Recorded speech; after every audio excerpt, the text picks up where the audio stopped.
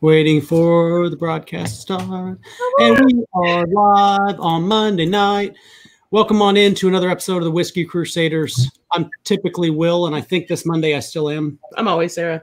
It's been a long quarantine. Yeah. Today we're joined by Kyle and Irene, uh, both brand ambassadors with Teeling Whiskey Company over in Ireland. Matt, before we uh, jump into that, who do we got in the stream with us already? All right, let's see who we got. We got Brian, Brian over at Kilco. How's it going? If you guys haven't checked out Coco's channel, please do. And our buddy Jason, the Mash and Drum. Obviously, congrats on hitting 30K, Jason. Yes, Uh, indeed. Donald Rance, the Irish Whiskey Yoda, who was a huge fan of Teeling. Uh, let's we got here Brent is one lost cause. We got Donnie, the one next cat, uh, Mark JG, William Devilar.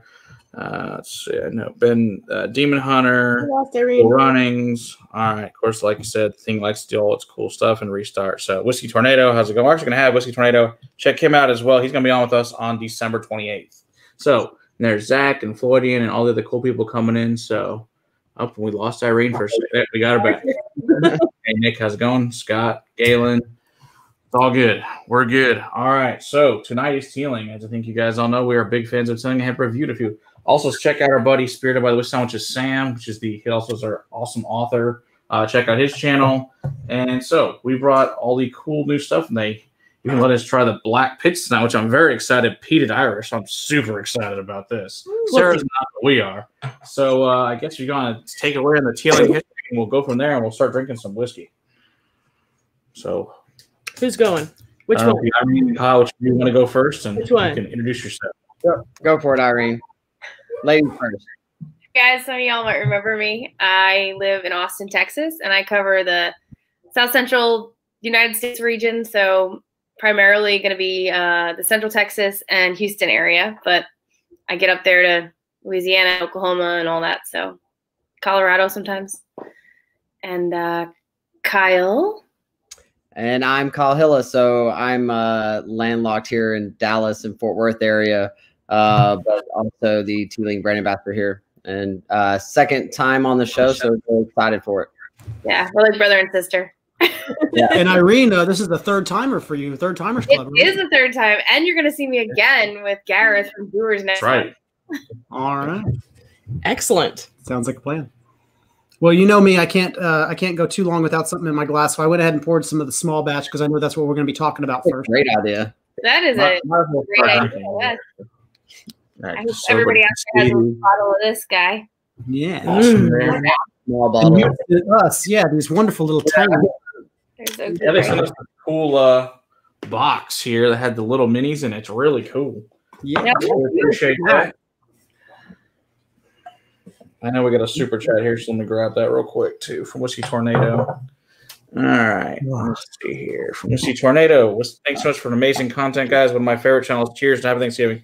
Thanks, Mr. Tornado. Appreciate it. That's Lance, by the way, everybody. So, like I said, he'll be on with us on the 28th of December. Yeah. All right. Mm. All right, so let's say let's go over Yum. what, what Teeling is and how it came about. And I know it's a new brand, but an old brand at the same time. Yeah, yeah. Um, we just had our five year birthday. I guess was that over the summer though?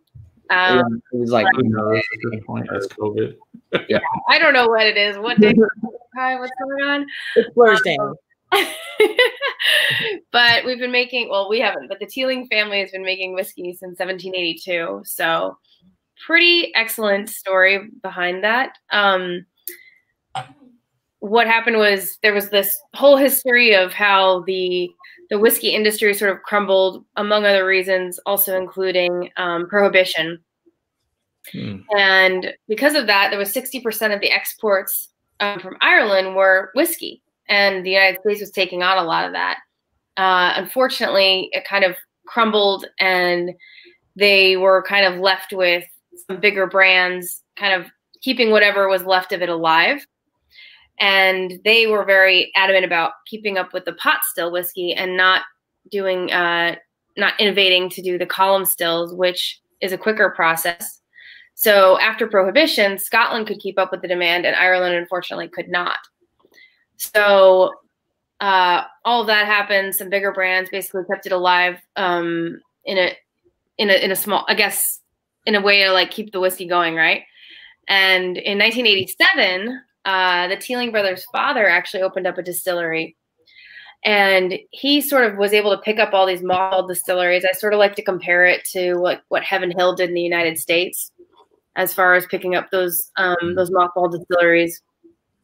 And then uh, one thing led to the next. The Teeling brothers decided to do what most of us do and get out of the family business for a while, go do our own thing, and then realize sometimes that it's better to be working with family and figure all that out. So both of the brothers came back and uh, started working with their dad. And I'll let Kyle take it from here because I've been talking the whole time. so yeah, so uh, yeah, the the Teeling brothers. So while working with their dad at the distillery, they actually met Alex Chasko, uh, who worked there as well. So Alex Chasko is our master distiller. Um, one of my favorite sayings that it is uh, whiskey is beer when it grows up. Um, just talking about the process of it, and I, I feel like that actually embodies a little bit of Alex himself because he was a Portland craft brewer and then moved to Ireland uh, to to join uh, the Teeling's dad at his distillery and worked there. Met the love of his life and stayed in Ireland, and then now the Teeling brothers have brought him over. So he was the very first employee for Teeling uh, and is our master uh, distiller. So they basically, you know, kind of talking a little bit of what Irene was talking about of this huge decline of of Irish whiskeys. They were literally exporting 60% of the whiskey for the world at the at that time and then went down to like 1% of the whiskey uh sold. So, you know, again, from the, you know, prohibition to the war of independence with England, it cut off all their ties and of them selling whiskey. So, um, you know, when the Teeling brothers were looking to reopen a distillery, they really wanted to showcase just uh, um, how alive Irish whiskey really is, and and the art that they've you know kept alive this whole time. So they did what they should have done and and opened Dublin so they opened up their very first distillery in Dublin. It's the very first distillery to open up in 125 years. Um, so it's it's an amazing distillery. It's in the heart of the Liberties, um, which is a fantastic uh, uh, historical area for whiskey nerds as well. a lot of artisans back in the day. That was where they kind of got their you know, they do whatever they wanted and have the liberty to do that, right? Yeah, didn't have like 30 distilleries there at one point in time back like back a long time ago in that area, something crazy like that. Yeah, there's also this cool like well it's not cool I don't know if it, I would say the story is cool, but um so we don't aid at the distillery. Mm. Partially like not because of this, but just sort of as like a nod to this story of a distillery having a fire and whiskey was just coming down the streets and people were just picking it up in their boot it. it was on fire and at a really, really high proof. So. Insane. yeah, I'd be swimming. Smart. fire or no fire, I'd be swimming in it. Yeah, you'll be fine. Don't worry about your no. body flaming down the river of whiskey. Yeah. You'll be fine. wow. Oh, I also give a shout out to Trev Wilson, another channel you got to check out. Of course, our buddy Ed, the Rock Reviews, really, really wants this Blackpitts badly. He also is a huge Irish whiskey nerd and uh, peated whiskey. So he's very excited about the Blackpitts. I'm excited to get to it tonight. Uh, I didn't even know it existed until yesterday. Uh, I was I was excited when Matt put that photo up, and I, I, I that's when I learned about it. So no, yeah, it's exciting. It's the uh, definitely the only peated whiskey in Dublin. So yep, very cool. Very very cool. Um, you know, Will, I think you have a picture of the distillery. Um, but uh, yeah, the the distillery itself, we built it in Dublin. They they really great job. what? Here's the picture. I just read that. Okay, we'll read that out in a second. We'll talk uh, about this and then we'll do um, so gorgeous distillery. And and one of the reasons why we have this beautiful phoenix uh logo for Teeling is this rise from the ashes mentality. So this area in the Liberties you know, went through a hard recession, um, and they they went to open up the distillery in 2015 during the heart of this recession they were kind of going through. Since then, we're really seeing a you know this rise from the ashes mentality of this area, and a lot more businesses and and corporations coming in. So we're kind of you know it it's really touches on just where the distillery is and what they're able to do. Well, and before American Prohibition, before the Irish whiskey collapse, Irish whiskey was known the world over as being the quality whiskey.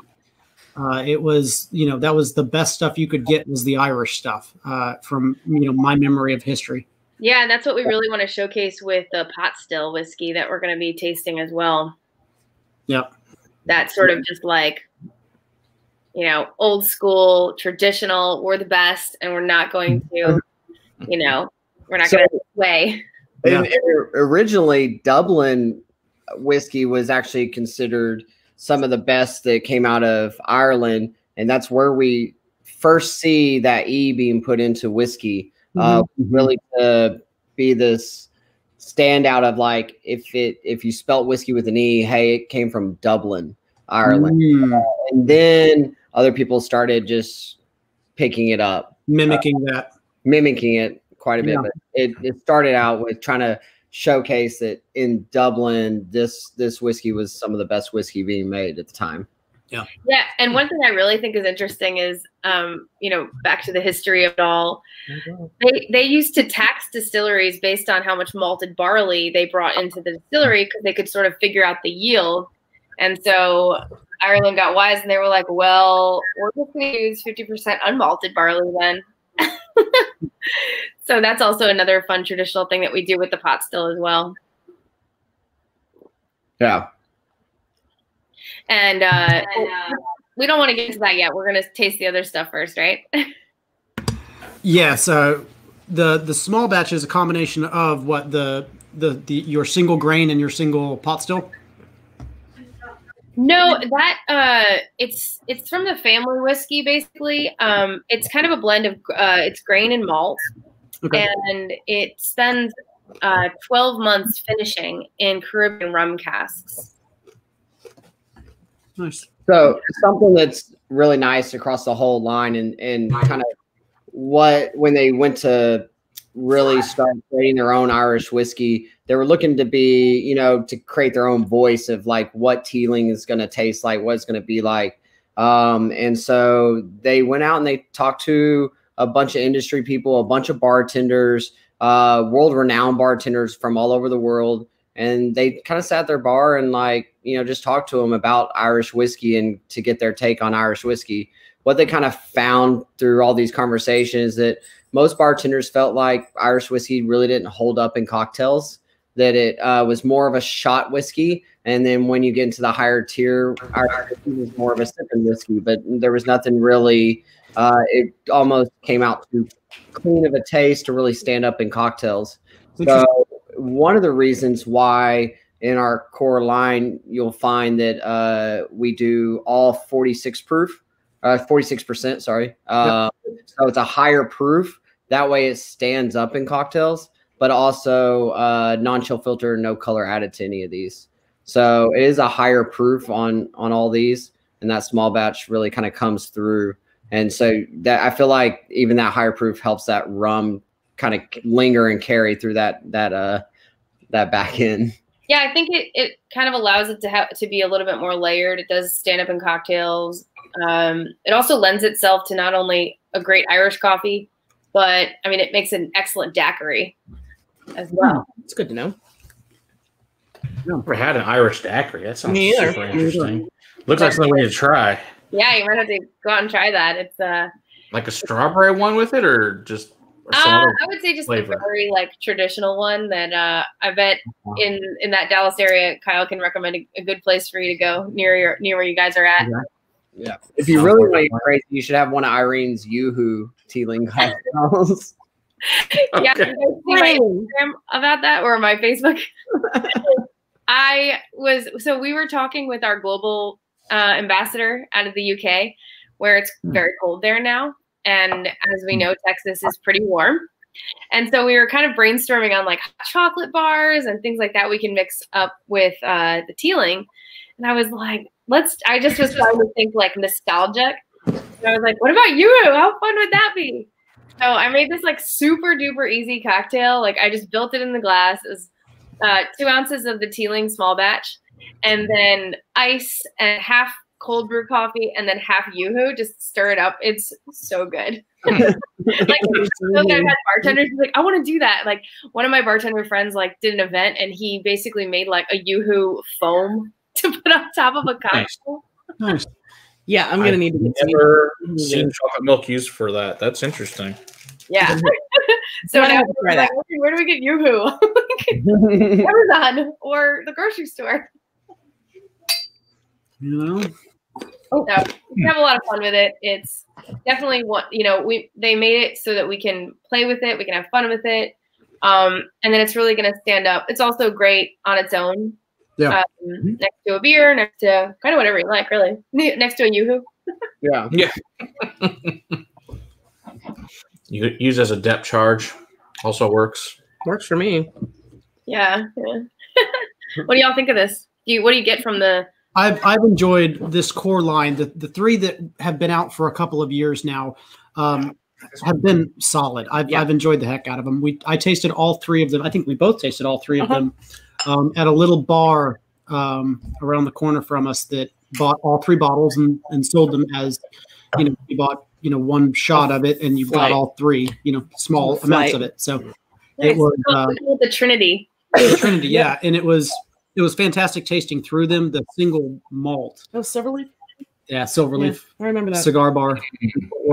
Or That was a while, while ago. Yeah, I mean, we have we, We have, have a single, single grain, grain. back here Yeah. left. Um, it's it's almost going. Yeah, because then uh, Julian came here last year and did the awesome event at the house, which was amazing. Mhm. Yeah. Hopefully we get Yeah, that's when we had that 24 year. He definitely saved my ass. I was supposed to do that event with you guys, and I had to go out of town. And I was like, Julian, Yeah, that's how we got in contact with. Yeah, because of that. Yeah, that's how this all started. I was like, I have somebody. Like, thank God, because yeah, it was like well, the, it was only a few days before. Yeah, Yeah, I that was like an emerg. It was an uh, like a family emergency that I had to get out of town for. Yeah. Um, but he That was a good night. you. The, the 24 flowed like wine. Yeah, oh yeah, yeah, that, that was before our time. But I definitely had some of that 24 with Julian from time to time. So Yeah, that's good stuff. single malt. what's that? It won best single malt. Yeah. Yeah, True, it did. That's right. Best thing about in the world. Yep. Yep. did. Well, you guys mentioned the single grain. Should we move on to that one? sure. I'm a little ahead of you. I'd actually just poured some. Oh, Oh, well, I, have, then let us catch up. I need to catch up. I'll gladly catch up. Let's do this. Yeah, I mean, I'm price wise, you're better off spending ten dollars more on this and then getting an actual you want to drink over some of the other uh, uh, blends that are out there that I'm not a big fan of from Ireland. Plus, those are at eighty and this is at ninety two, so that alone is already a better product just for that. Yeah. Yeah. That right there. Get that um, A lot of shiny it- metallic note that I find on theirs that I don't like that I, you don't get on this one, Right. which Right, helps tremendously. So one thing that you know in in Scotland it's you know must be aged in oak, and then the cool thing about Ireland is must must be aged in wood, you know, like oak. And so Alex just really leans into that idea of just having fun with the cask treatments. And so the single grain is 95% corn, and it's going to give that big fruity note. Yeah, I have Mhm. one guys too here. And um, well, that's a single malt. Just kidding. Yeah, I figured I'd pull the big bottles out because just because they look prettier on camera. They do, yeah. I have the big bottle here, and so it's aged exclusively in California um, red wine Cabernet casks barrels. Um, so you know we have, like Kyle mentioned earlier, non-chill filtered, no coloring added for consistency. We have this dark bottle because this is kind of our go-to one, and we don't want you know a regular consumer that doesn't you know quite grasp the idea that casks can give off different colors. So that's Mhm. another reason to have that darker bottle. But with this one, we really wanted to showcase like what the casks are doing with the color. Okay. I did wonder on that why it was the only clear one. Now I know why. Yeah, I mean that. I mean maybe I'm just guessing. That's, No. that's my idea. No, hey, that's a good reason. I just always wondered. I figured it was a marketing reason, but I wasn't sure what it was. Alex takes the single grain to another level in too. So when he talks about uh, the single grain uh, whiskey, he he talks about it as a category in general for um, Ireland that you know you know grain whiskey's been used for blending a lot, but not really a standalone whiskey category in itself. There's not a lot of good uh, single grains on the market for Ireland, and he really wanted to showcase that there actually can be delicious single grain, and he showcases with the with this, and then finishing in that Napa Valley cab barrels. Are just, I mean, it brings that beautiful kind of like red berry fruit and like black Mhm. pepper right on the Yeah. back end, and it, it just it's smooth and drinks. well. Yeah, How Italian Old approximately is the single grain. one of two corn whiskeys. Mm. Wow. How, Matt's question was, how old is this guy? Approximately. How old is what, Alex? The single grain, approximately. Oh, oh, the single grain is about uh, it's between five and seven years. which is amazing. And the reason I ask is is most scotches that I've had that are single grain are terrible in that. Like they're just awful. You have to get to like 18 year plus to get decent single grains out of Scotland. But this is actually really, really good. And I thoroughly enjoy drinking this one and have, as you can see, based on the bottle, there's not much left. And that's so good. This is this is 95% corn, but I'm assuming this is pot distilled. Call them. Oh, you are calling Um, distilled. Um, so, yeah, Interesting. it's um five percent malt barley just to get those enzymes rolling around, get a better Right. yield. this is probably a good one to give uh, a bunch of bourbon drinkers to switch them to Irish too. Oh Well, and yeah. I've actually- anytime I've told anytime people someone's that like, I don't know, I'm like, try this. I've compared this to Michter's American, and some people have told me I'm crazy, but I really feel like this is a very, you know, similar comparison to like Michter's American, with that light wood influence, but you know, the still the the rich, heavy corn. Yeah. Yeah, I like okay, we got we got super tired from buddy Jason the Mash and Drum says, "Here's you guys and Teeling have been talking about how great Teeling is for a long time. So impressed by their core lineup. Single grain has been my favorites. Single all is creeping up there. Cheers, thanks, Jason. Appreciate it. Cheers, Jason. Cheers. Yeah, Yeah. the bacon to try with this. Mm-hmm. This is a it's it's a fruit bomb. I love it. Oh yeah, I would say hi to John Gunzel down there at the Crowded Barrel. How's it going, John? Hey, John. Oh, this is good stuff. I failed last time and I didn't have bacon, so I'm pretty proud of myself. I know you told she even told me beforehand she was gonna have bacon, so that's even more impressive. I didn't burn mine this time. Hey, hey. Yay. It's a big plus. Burnt bacon's good though. Not bad. There's no bad bacon. Yeah.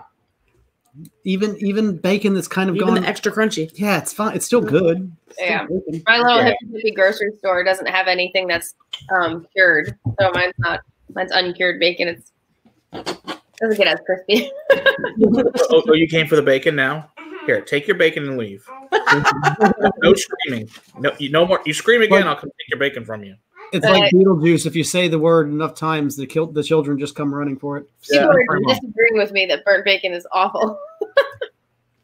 No, I, I like burnt bacon. Depends on what kind of bacon it is. I hate like the the like. I hate it when it's not cooked enough. It's just like ugh. Yeah. Mm, talk about not like viscosity, right? I'd rather have the viscosity in my whiskey, not the bacon. uh-huh. The only bad bacon is the one someone else ate. Uh-huh. Yep. that is the truth.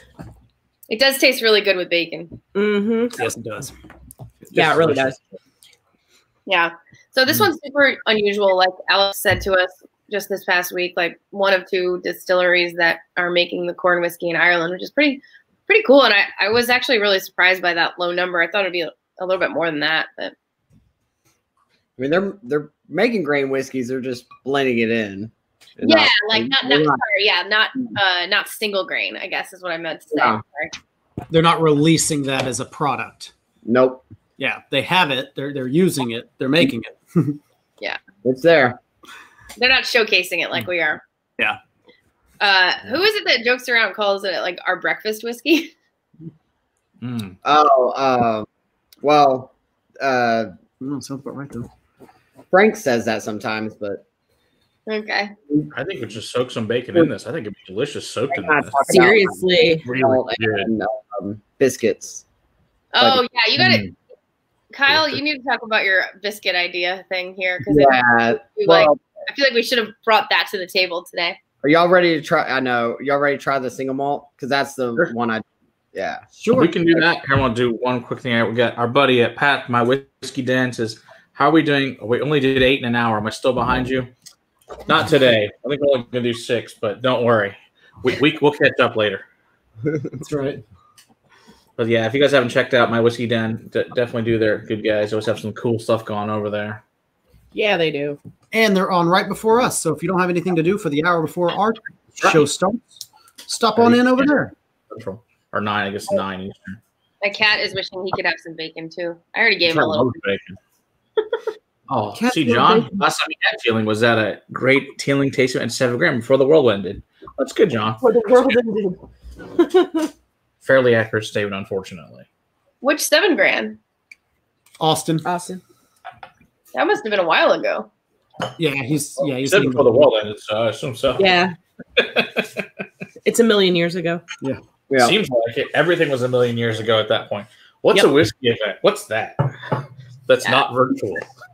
seriously. Hey, Hey, don't make me come take that bacon back. Seriously. Yeah. Stop supplying All right. the bacon. Do you have a biscuit idea with the single malt? Okay, we, So, we gotta single talk about this. This thing is awesome. So we gotta tell us what all about this single malt and what biscuit idea you have. So you gotta you gotta understand. I started this job during quarantine. Like my my hire date was the day of quarantine. So Well, he uh, got hired, and then the first day of the job was definitely. yeah, my yeah my actual like day first day on the job was uh, day of quarantine. So I've spent a lot of time at my house with a lot of Teeling and um Not a bad lot thing. of Zoom meetings and stuff. So, So rough. yeah, uh, bad for you. yeah, it's really rough. So I like I've been sitting there in meetings, you know, drinking Teeling out of a coffee cup, making it seem like I'm drinking coffee, I and won't tell. I won't tell.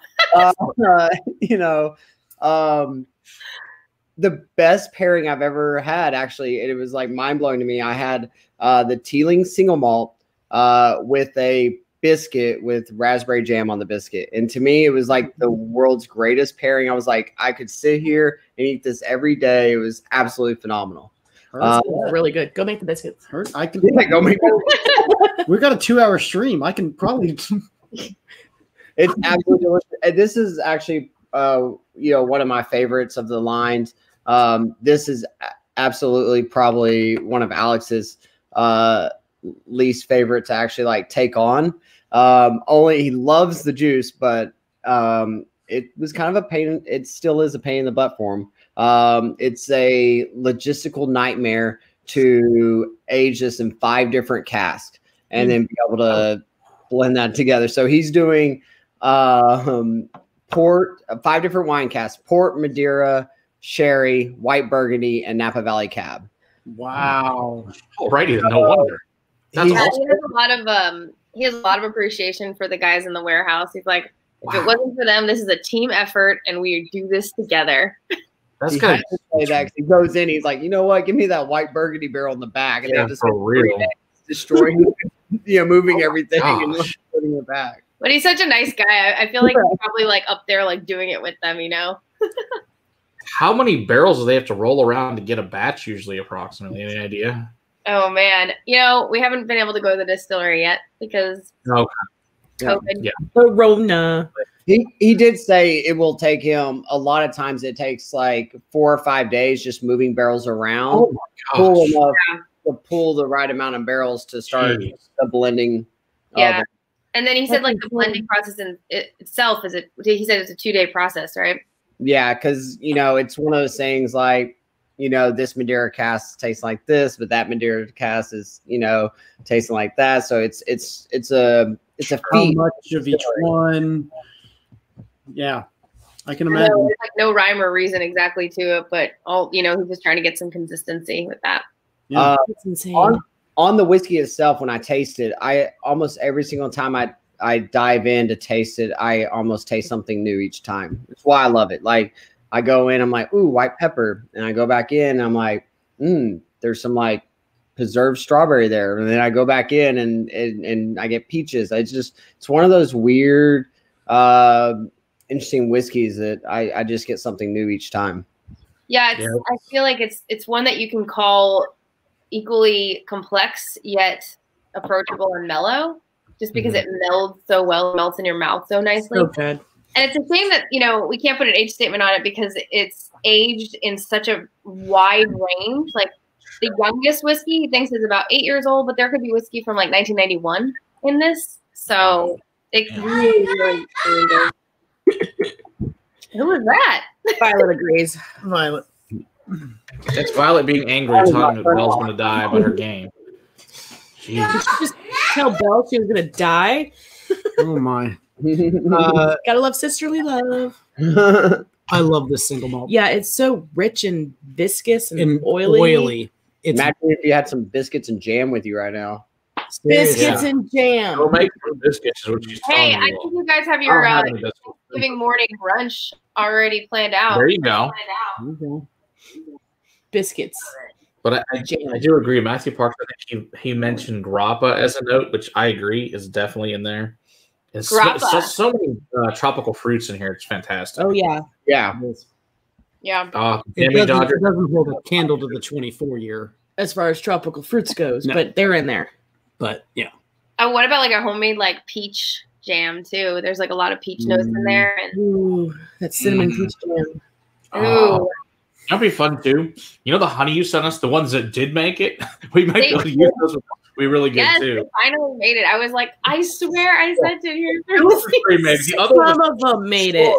I opened it, this like glass and honey leak all over my mailbox. I'm like, awesome. Uh, just They- none this, made it over here. this was at like that was at the peak of all of this going on with the um the Jammy Dodgers. all the people that deliver mail the mail Like, the post office. That's the word I'm looking for. This Yeah, is they were very. so kind. I'm only on my Two third weeks beer, not Correct. pouring heavy. I swear. It's all good. John says Jammy Dodgers. Yeah. yeah. I agree with Jam Dodgers, and those are delicious. We can thank mm-hmm. Huey for those. Let's And you can almost, you can almost taste the Jammy Dodgers in here. I would have never known about Jammy Dodgers if it wasn't for Nathan Right. in Nice. some class. Please share. Oh, it's just a type of, of cookie, essentially. I like a cookie with um, little fruit jam in the middle of them. Yeah. They're Great though. But yeah, we were at Psalm uh, one. There was a Scotch called a Jammy Dodger, and Nathan Huey brought it. So then he brought Jammy Dodgers to taste it, and it was awesome. Oh, are those those like like pastries with the? Yes, it's it's kind of a it. pastry, kind of a biscuit, kind of a cookie. I didn't get that. Ugh. Could you try again? Is it a biscuit or a cookie? Siri was very good. I have I changed mine to have a South African accent. uh, Jason, I wouldn't go as far as like a raspberry kolache. That's like too much of the bready hmm to it. It's it's more of a cookie than a biscuit, if you want to have that argument. In this in this situation, it absolutely is. More of a cookie. Yeah. The sweetness to it Yeah. versus No. the non-sweetness to Kolaches. We could get some from West, and then and then do it. Pair these with the best best kolache from uh, from West, and see which one's the best with this whiskey. I think that'd be a really good fun project. Jason do that. does know about the kolaches from West. Um, I'm seeing a, a comment from Matthew or a question. Yeah. Um, I was curious about uh, what the influence. Uh, so he wants to know about the white burgundy. I don't know exactly about the white burgundy, but just to go back to the single grain for a little bit. I Um, do. I do. oh, you do? Okay. Go ahead, Yeah. some. Uh, so um, Burgundy is uh, where they grow uh, Pinot Noir for red, uh, but for their whites they um, are growing a whole lot of Semillon, uh, and it is really really yummy yummy stuff. Um, it's really really bold and complex white uh, from Burgundy. So that's probably why they're choosing those is because they're really really bold and it's a lot of um, the fruit notes that we find in older It's Irish from that. whiskeys um, are the same notes that you find in white burgundies. So those peaches, those uh, melons, those um, those are all things that are in white burgundy. Yeah, right on. That, that Yeah, your softer tropical fruits, your creaminess and stuff. Yes. That you get all that from uh, white burgundy. Yeah, Yeah, it definitely sounds feasible for sure.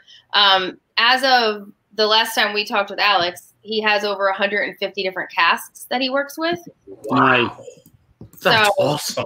Yeah. Not, not really works ri- plays with. He, Yeah. he literally spends thirty percent of his time playing around, just Darn. Just- innovating. Sounds like so much fun. Yeah, Yeah, right? the greatest job ever. But what I think is interesting is when they were going out in the beginning and looking for, you know, what they were going to do, they went to California and asked a, you know, asked a winery like, "Hey, you're done with this cask. Like, you can't use it anymore. Can we, um, can we buy it from you?"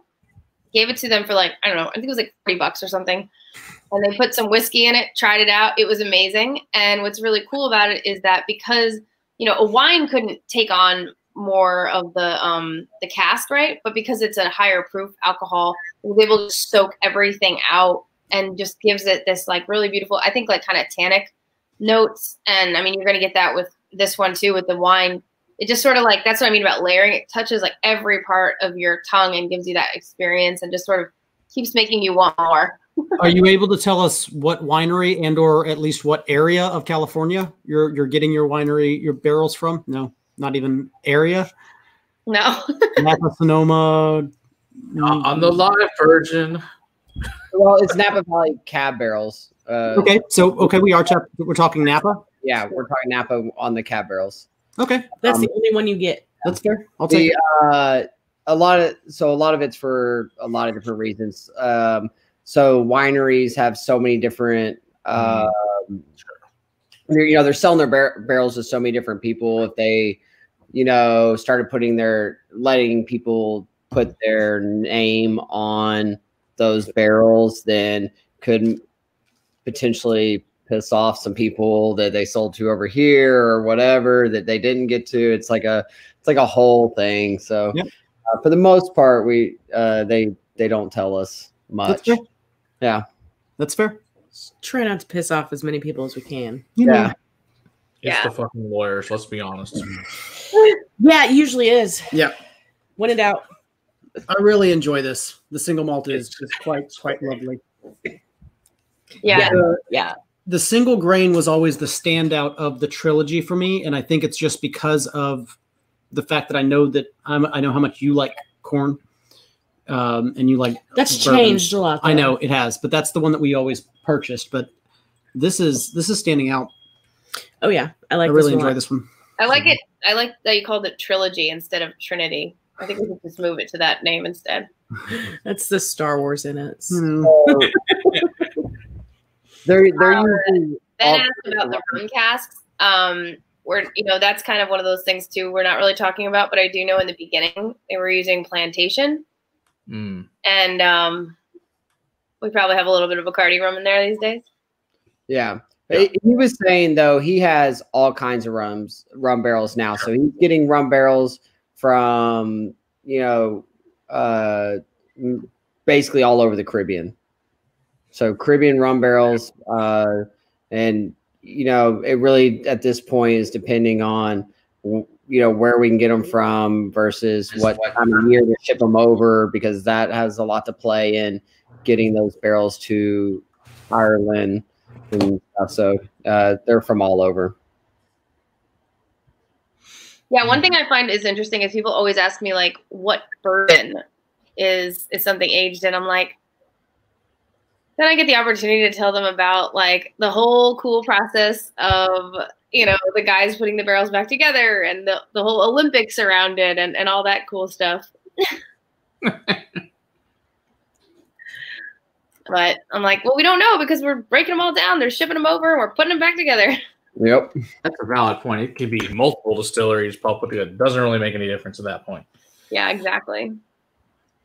But could be fun. I mean, I'm sure if you went to the ridiculous effort of putting them all back together from each, it would take forever. It's not worth it. Just from a time standpoint, of going, well, this one came from this distillery. I mean, good gosh, it's like they throw them on a boat, guys. They throw them together and say, Yeah. make the barrels. It's, it's, they show up as pallets. It shows, I had to ship them all put together. It cost a. Um, Great question that uh, we'll be getting to. I was just about to say. Yeah, I was about to say, you want to? why- You want why- to? we'll answer that in a few minutes, actually. So we'll hold that Oh, question we'll then. get to that. Mhm. We'll get to you there, Matthew. Should should we uh, taste a little bit of the pot still? The- Yeah, it's good pot still now. Sure. I like it. Should we pot? No. I like the, the blue canister is cool. It stands out on the shelf. Yeah, it does. I Yeah, I don't. do There's like very few whiskeys that have this cool color on it. I just We like did a that. review on this one, didn't we, Matt? We did. We reviewed this one. We reviewed the single malt so far. As Nice. far as full reviews go, we haven't reviewed the other. T- I guess the other, and we've done the 24 year single malt. We just haven't done the single or the small batch yet, or of course the new Blackpitts. But we will. And this is this year one more engine. of the the small batch. There's not going to be a whole lot of difference, but you know he's always evolving and always changing, and you know little by little. All right. So tell everybody what's just in case they don't know what uh, pot still is in the first place. They're new to Irish whiskey because it's kind of important what this is. Yeah, so Kyle and I can do this together, but as I mentioned earlier, kind of the old school method of making Irish whiskey. Mhm. Uh, they use 50% malted, 50% unmalted barley, and uh, this is triple distilled. And what I think is really cool is that we have we're always like we're staying true to the old fashioned ways, but always innovating and kind of making it this like fun new thing. We use a mixture of South African white wine yeast along with our distiller's yeast. Oh, okay.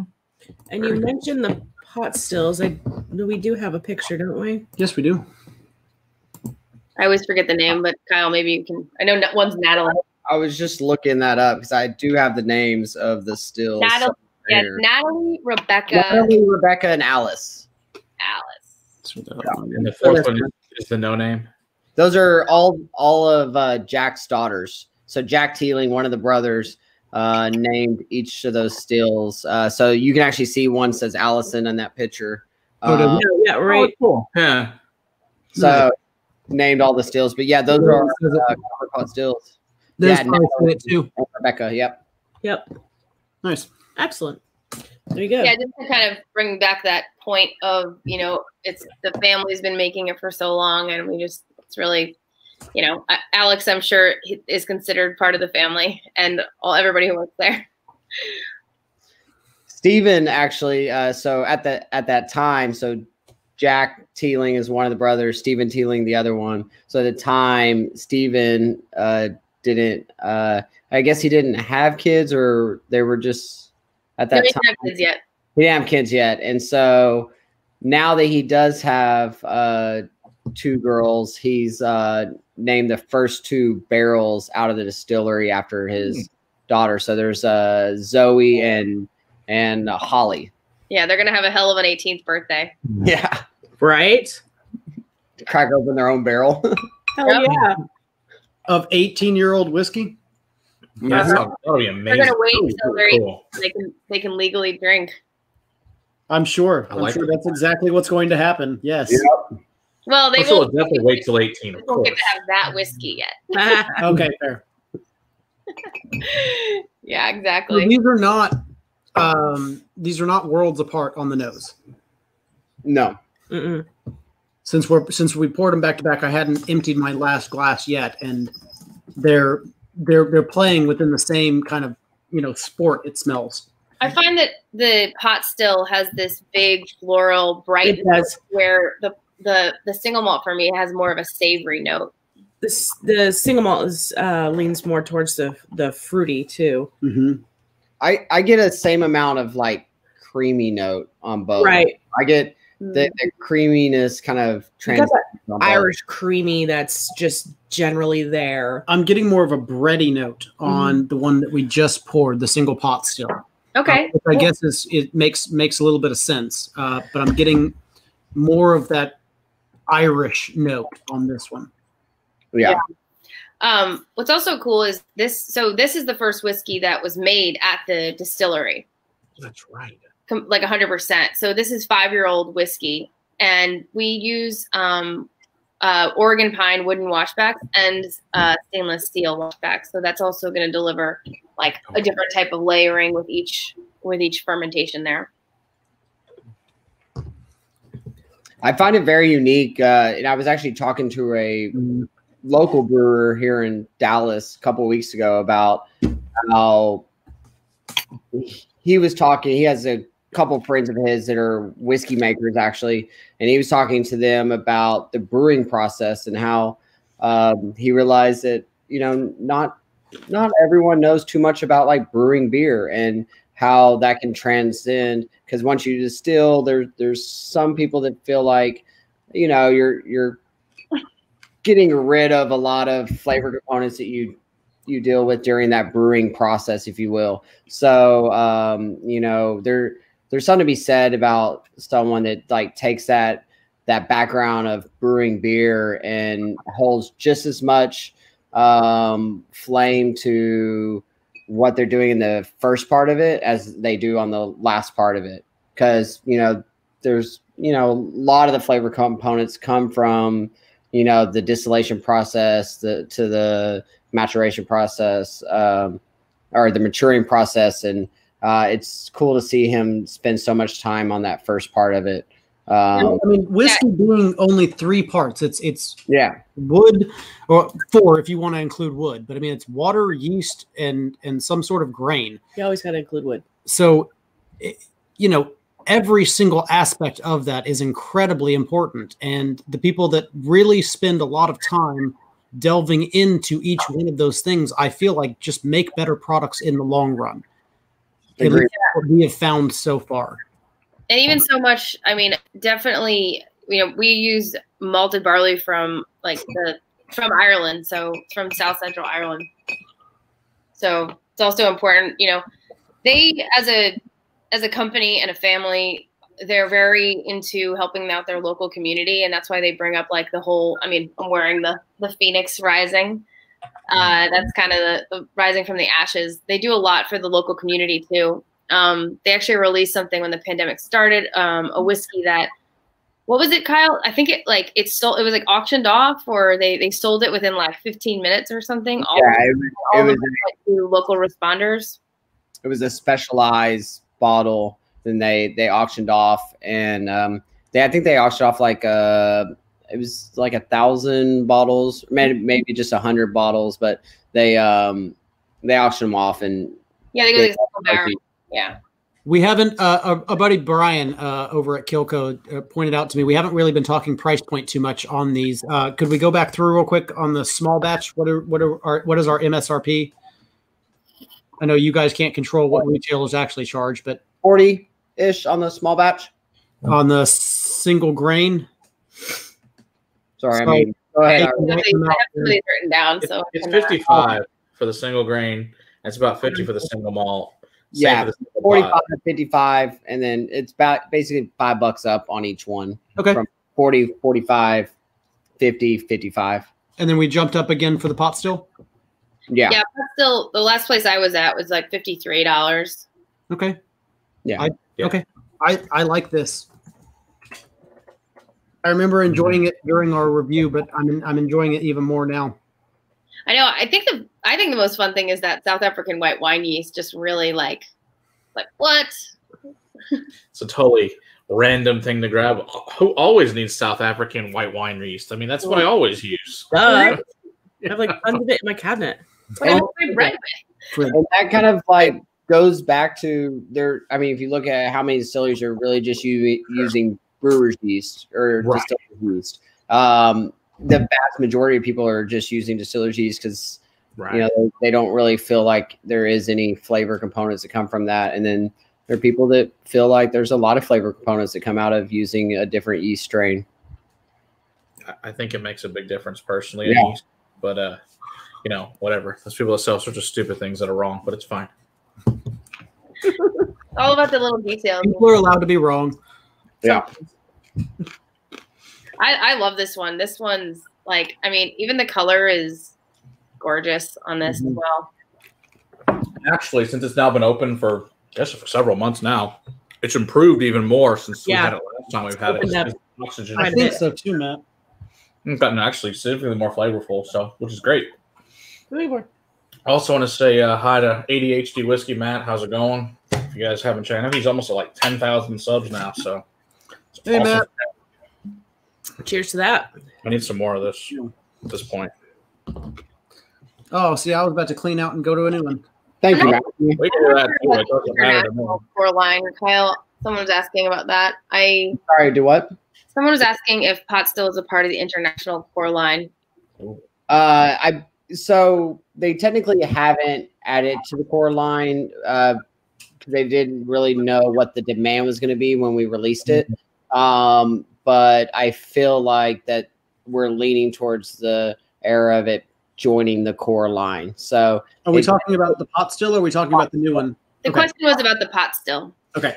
Um, and Donald said it was there. They're both in uh, Canada, so I mean, I guess Donald will probably know since he's the I could Irish Yoda. Yeah. I could text one of our Canadian coworkers and ask, but I don't know if he would know. Yeah. So it's kind of one of those things. Again, uh, we've uh, what is this the second or third time it's been released now?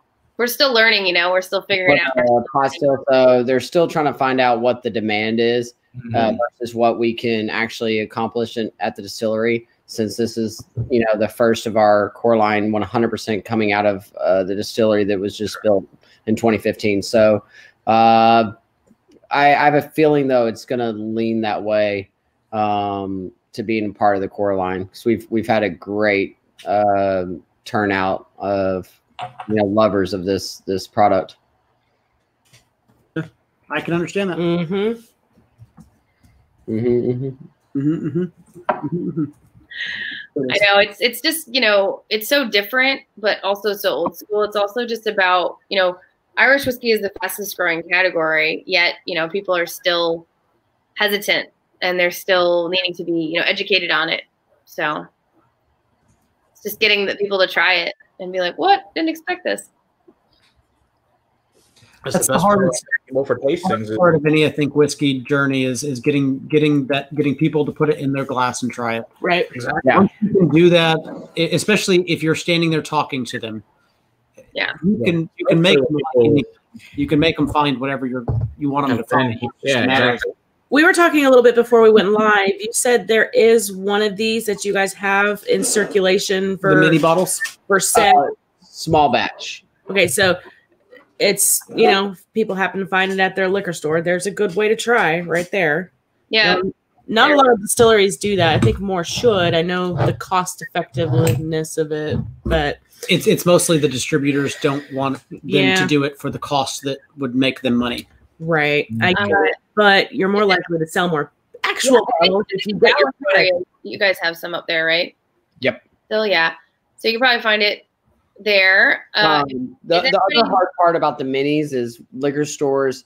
A, a lot of times when you're looking at the higher end uh, whiskeys, and when you look at the mini bottles, there there's a lot of when you go to liquor stores, there's a lot of 99 banana in minis, Right. not a lot of nicer stuff. So it, it is it can be sometimes hard to get um, liquor stores to pick up those mini bottles. 'cause Yeah. They want something at a at a lower price point of those. So it's a challenge all over. Right. You I'm just saying, I've paid fourteen dollars for a Macallan tiny bottle just because I wanted to try that Macallan, and I didn't. I'm sure as hell wasn't going to pay the nine hundred dollars for it. Right. Yeah. And also, it kind of depends on what region you are in. Right. Chicago has a lot of the mini bottles. okay, And they have the little Trinity packs that are just like the, the three mini bottles that we have. Mm. Um, if anyone's in Houston, I'm going to be doing an event with uh, OST Liquor next month. That should be pretty fun. And they're going to have the mini bottles, but we don't have any in Central Texas. Mm. That's blue. But But yeah, you, North Texas, you do. So maybe Kyle, there you go. Kyle, do you do you know where anybody can get those or? Yeah, so I know that the mini small batches. Uh, there's a s- there's a local kind of boutique liquor store actually at Willow Bend Mall um, called Crafted. They they have the little mini bottles of small batch currently. If anyone's out in that area, Plano ish. Mm. Yeah. But the best thing just to come to a tasting, like when we've had tastings, that of course with COVID that's impossible. But when there are tastings, that's the easiest way to people to find to uh, try new things, and they go buy a lot more whiskey. And we find that after the event, they're like, "Look how many bottles I just bought." You're an asshole. Like, sorry, good whiskey makes makes friends, and then you get to buy more whiskey for your house, and then you convert them to Irish and Scotch and other things they would never drink previously, and it's hilarious. Another great thing to do is become friends with uh, your brand about. Oh wait, this way. your brand ambassador. See, it's different. Your brand ambassador. So like I have um I have uh we've now again looking at the COVID world of how do we outreach to people during this time. Um so uh, next month I'm actually doing a whole uh, happy hour uh, training and just a fun filled cocktail class with a, um, a tech company. And we're, you know, there's like 30 people in this tech group that, uh, you know, it's completely outside of our normal realm of like bars and restaurants and whiskey clubs. These, you know, this is just a, you know, I'm, I'm doing another one that's an architecture uh, company. So I'm reaching out to other companies and and offering happy hours and and Zoom classes for their uh, staff. So you know, becoming friends with a brand ambassador is always nice. We Yeah, send, exactly. send you free whiskey and then get and then we talk about it. So I might you, open it up. huh? I was just talking to Mike Cook. He's uh, he said now is a better time than any to open up his little thing he got for Christmas last year. Yes.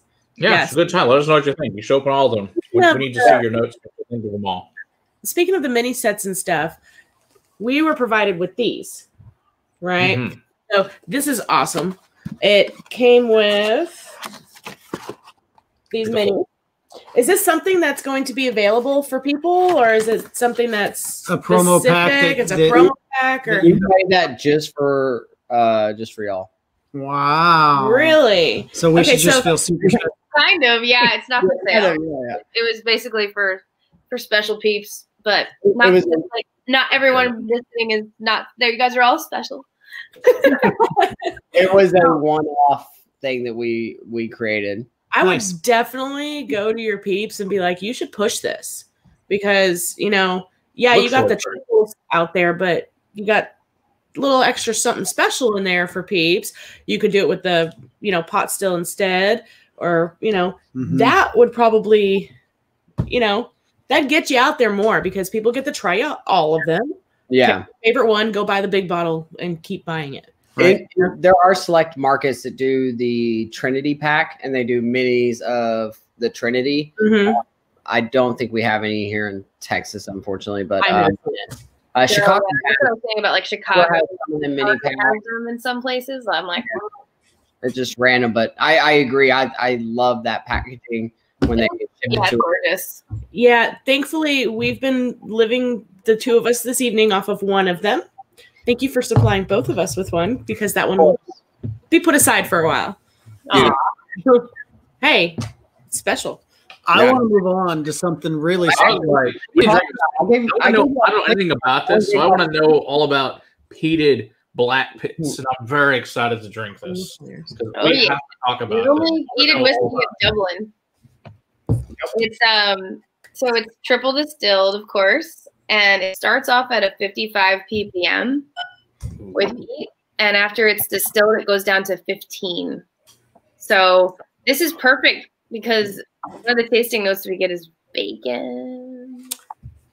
So Bacon. we- I smelled it. It's it's not for me really for the based off the smell, but I'm gonna go ahead and continue drinking my single Take drink. a, take a tiny sip first, let it coat your mouth.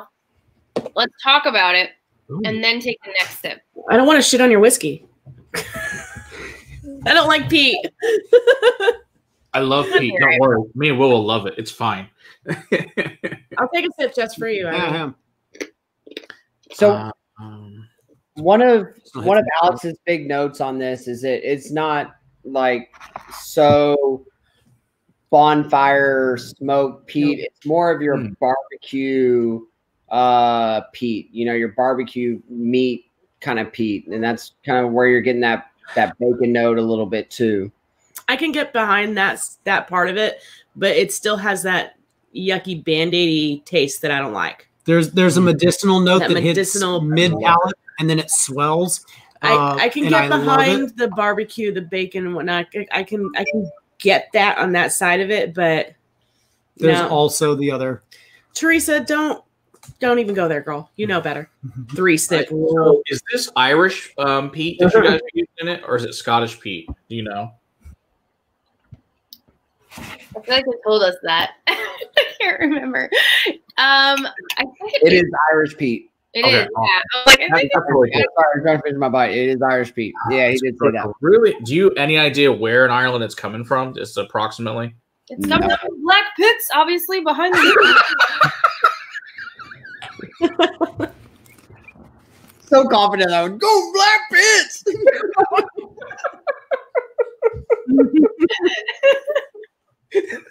That's the best answer ever. I mean, you need your own show. You should be like on a reality show. I have been told that before. a few times. Oh, Black God, that- just comes out of nowhere. More and more that you drink. So, um, There you go. the the barrels you were getting on this one. Uh, so two thirds of our barrels are going to be uh, ex bourbon casks, and then one third are going to be sauterne casks on this one. So we do a little bit of that sauterne wine uh, barrel on on the black pit. Yeah, so it's That kind of does really help soften it. I'm sorry. Kind of similar to the 24 and just like a more authentically like raw way. That's what they were kind of Raw way. I don't know. Stop. Now I'm on a roll. Just don't don't don't do Okay, this Kyle. so why is it called black pits? What does Blackpitts mean besides your armpits? Take it away, Irene. So it actually is um so the Liberties is where the distillery is, and then there's Hmm. this area behind the Liberties called the Blackpitts. And there's Okay. this sign that said Black Pits on like a gate, and they just were inspired by it. And that's where they got the idea, and it looked Okay, like cool. this. It's a really. I love the bottle. Like it's, it's a really cool looking bottle. Yeah, it's a pretty So bottle. When is it going to be on the actually on the market? To After January. the new year, like January. after January. New Year. Yeah. And Very is it going everywhere or is it uh just over there? It's here. Oh, it's here. No, you can get Yeah, in there. It's gonna hit here in January. Excellent. Awesome. So yeah, this is just a preview of what's coming. Um, Because this is we we don't know exactly what people will start selling it in in stores for, but right now the suggested retail price uh, is uh, 70 like low 70s 74 so Not bad. Yeah. It smells really good. and it is like uh like a turf type peat that's um a little like the way they were explaining it is that it gets like from a bog and it's alive still and it's just like this like moss basically like peat moss is alive but the way i've seen it in scotland is a little bit different Okay. It's Yeah. quite delicious. I know that much. I really enjoy the hell out of it. That's really good. It's kind of like a combination of like Laphroaig and Ardbeg. So it's got the Mhm. iodine and the meaty notes. That's really interesting. I really like that. And it's still the 46 along the same lines as the rest. yep Oh, Ben wants to know if you're going to be at Austin Shaker in 12 days by chance. uh she'll be in Austin Shaker tomorrow hi ben um you mean the 12 days of christmas i don't know what they're doing yet they're still trying to kind of figure it out so i've been there the last two years but i don't i don't know i gotta talk to dave and kiki Mm. But go tomorrow. You might be there is that what you're asking I guess, and he wants. To, I don't know. sorry austin be- shaker is like a really awesome liquor store in austin obviously and they do these um 12 days of christmas and it, it's tastings and it's a really fun time but obviously like they're not a store that's doing tastings right now so they're still trying to sort out what they're going to do. There's only a handful that are, so. Jason from the Mash and Drum is asking, um, sweet pitted whiskey, you would equate it to? Uh, I don't not think as peated as Port Charlotte. yeah it's not as peated as Port It's not as big as Port Charlotte, um, but it's not as light as Caol Ila. right yeah Hmm. it's all poop. You know it's what? bigger. It's bigger than Connemara. Yeah, it's definitely more than that. yeah I'm thinking That's it's more what- like uh more like Lagavulin, sweeter peat Mhm. wise. like a light lagavulin in a way Yeah, yeah. It's, it's really good. I'm really impressed with this. I really like this. I need a full bottle, please. That would be great. I don't even know that I'd go white Lagavulin. This is It's gonna be my last bit. this is good. Teresa said Bunnahabhain. No, it's Uh, more peated. Bunnahabhain's not peated enough. No, yeah, Yeah, we've had the- some peated ones that have been. Yeah, but I've smelled the Buna Bunnahabhain and that's more peated than it. yeah. So it almost has this like it's it's fruitier. Like it, it's hard for me to kind of even think of what to compare it to because it does have that like light barbecue like The Blackadder, Matt. ness to it, like fruitiness to it, like almost like real papaya kind of way about it without. Still got that Irish to it. Mm. Yeah, this reminds me of, of, of a non-cask strength, maybe Blackadder raw cask. Oh, I haven't had the Balvenie Peat Week. That would have been vintage 20, uh, 2003 from Matthew I one in Parkson. the corner. I, I never had we can, we can play games of see which one's the closest to. Why don't you go find it, Matt? Yeah, I can do that, but you know, it's whatever you guys want to do. Might come back. I do to have. I know exactly where it is. Oh, do you? I actually know where that one is. Do I know exactly really? what the 2003 is and the 2002 vintage is. I'm surprised you're still sitting there. Yes. I'll, I'll, I don't know. I'll get- Last time I had Peat Week, I was drunk and I was okay with it. problem's but- gonna be we're gonna pull out all the peat. and we're gonna figure out what this is. Only reason why I was okay. Let's see. I would say this is closest probably to a Connemara plus a Lagavulin. That was the end of my sample. I really think that I'm gonna make. This one here is lucky and happy that I don't drink it. Yeah, can I get two bottles? Yeah, I know. I know. I only got That's one. okay. Maybe I just won't share this with you. Ooh, that's a really shitty thing to do. You I tried to mean, hide it from me. a little bit. That's really messed up. I gave him I gave him six uh, tasting kits. Y'all only got two. so messed up. Hey, you know what? With the amount of whiskey this man gives me, he can keep whatever he wants to for himself. I I feel am. like had the same Yeah, conversation gave me three last tasting kits. I gave them two. I gave them nice yeah, and I think since last time, like our collection over here on the oh, side just has just silly. grown so much and needs to be moved with the rest of the collection over there. I, That's your job this week. an Ardbeg. I Move the whiskey samples. If it's what I think it is. Oh, what I wrote down about this Ardbeg. Is that it's edgy and transparent. In comparison to like the 24 year, if you've had that, like where it has some of the same notes and same um, aspects of it, but it's a little edgier.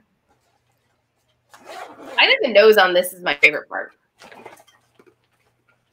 Yeah, I'm just gonna single grain. That is. Hold on. I finally realized your shirt is uh, Harry Potter. Yes.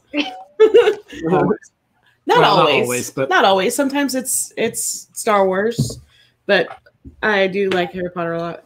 The castle is right there behind me, and the Legos. I see that. Yeah, I like Harry Potter. Have you seen the uh the Harry Potter notepad thing? The book, They like well well, the paper. Yeah, you you as you you rip rip the papers, it turns it- into like the, the castle. Yeah. Yeah I want I want that. I wouldn't even use the papers. I'd just rip it all away to have the castle. Paper. I'm really close now. yeah. What, do you- what do you, what do you got? What do so you far? got? He's So far, Ardbeg, Laphroaig, and, and Lagavulin. I need Talisker. I think I'll have it. are, are you blending them? Yes. Sugar cat, uh, Sugar Kitty said that's not a castle. it's a cat jungle gym. Um, Harry Potter drinks Ardbeg. Harry Potter's not old enough to drink Ardbeg. He is now. He is now. Um, actually, the cats don't really jack with the castle. Mm-mm. Uh, one of them tries to eat the Legos sometimes and rip it apart, but not very Not often. So, well, and and Harry Potter can drink all the Ardbeg he wants, As long as they didn't try to make Sarah drink it. as long as he doesn't try and yeah. I see the cat back there all the time. I Yeah, need to admit it, but I have like no idea about Harry Potter at all. People kind of mentioned it. I'm like, what is a Hufflepuff? no. yeah, um, Sugar Kitty, the cat's back here all the time because I feed him bacon up here. and that cat is actually named Harry. So I'm gonna Okay. go weekly because he's been sleeping the whole night. He hasn't had any bacon yet. I just feel bad for him. I think I got it. probably sleeping with his kid. Mm-hmm. What is it? So it's Laphroaig, Ardbeg, Lagavulin, and Talisker put together. That makes it. That's really good. that's a whole whole lot there, That Yeah. seems like a lot of beef. right? Seems like a lot of work. They could do more. Yeah, seems more expensive than this one bottle. Probably, but still tastes delicious. Or you could just, you know, wait until after the new year and I just wanted to do it for fun. well, there is that. I do understand that. I, I do enjoy blending things for the hell of it, just to see how close you can get. But yes, this is an awesome product. Um, I can't wait till this comes out. This is fantastic. Yeah, me too. You've seen it here first. Question is- So obviously, you guys only five years old. So is this you own guys stuff in this thing, or is this still got some of the other? This is all yours. Mm-hmm. All ours. Yeah. Awesome. So it's actually quite interesting. So again, so this is coming out of the distillery. So Okay. it's pot still. So when you're running heat through the pot still, obviously the stills will pull some of that flavor. So they actually he just continuously runs it until you no longer have any of that peat note and then Okay. cleans them.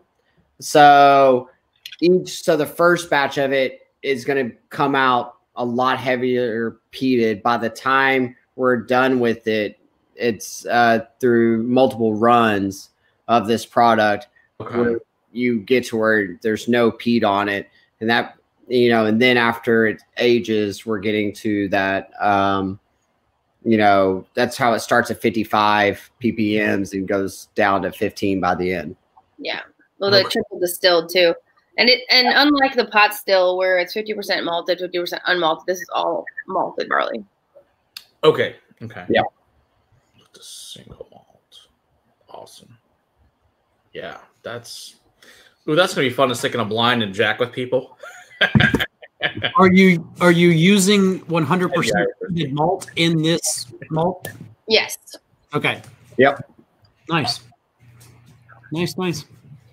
I I enjoyed the heck out of it. I'm looking forward to buying a bottle. Yeah, your breath smells now. Me too. And I find that like the first time I had it, I had to kind of like obviously I'm only having like a little bit at a time, but the like the revisit of it, it's like I like it more each time that I experience it. You know, you get more more to it each time. Yeah, Yeah, it's only gonna get better with, especially with a with a full size bottle, and then some oxidation. Oh my gosh, it's gonna be Oh, yeah. ridiculously good.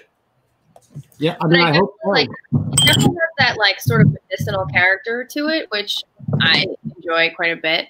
Um, I know we're talking about Irish whiskey, but you guys tried Aultmore with me. It kind of reminds me of the Aultmore, where it's really like delicate but Mhm. robust in the same sense. That's how I think this one really translates. yeah Yeah. See what happens when you sleep through with Monday night. you get a lot less. I really hope you didn't jack up your palate for the 24 with that peat.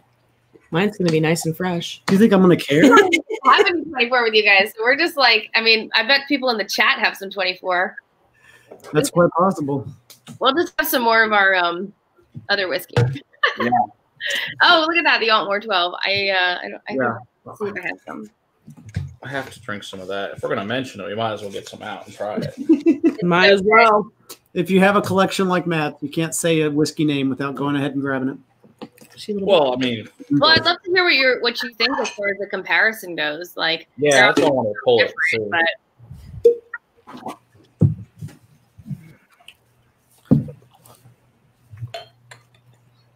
nice Ben.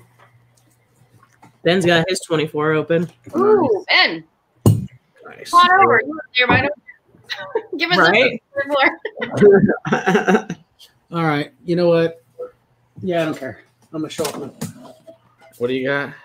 I'm gonna I'm gonna pull out the. What the fuck you pulling out?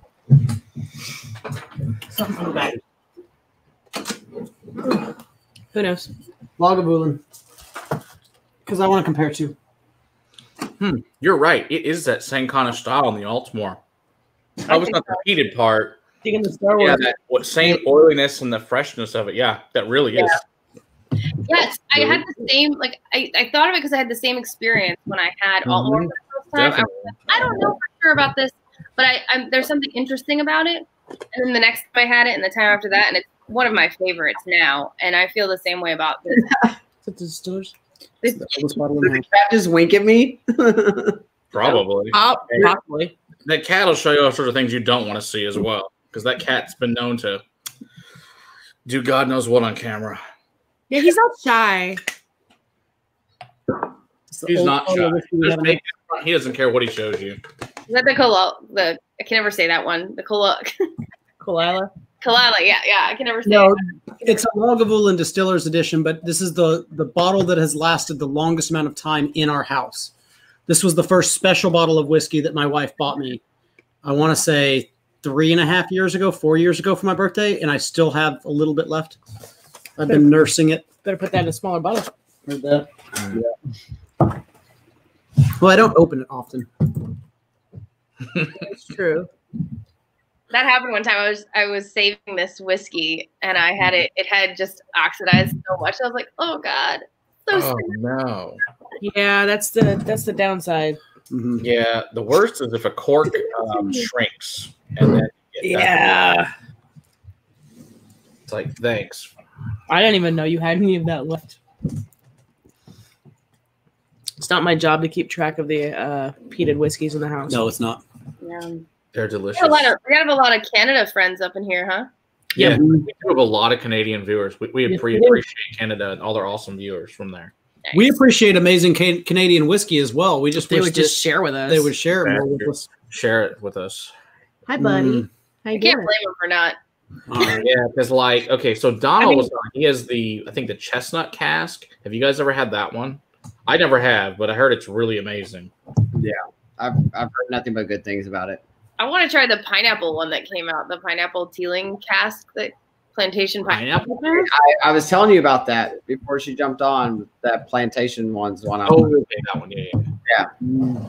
Yeah. We need to try that too. We need to find. all see, that's the hard part. Is like you know every country only gets certain whiskeys. You don't get all the cool ones. Like send us all of them. I want to try them all. Oh, Teresa, if I could, I would, and I'd probably stay. See, free place to stay in Canada. That's what I heard.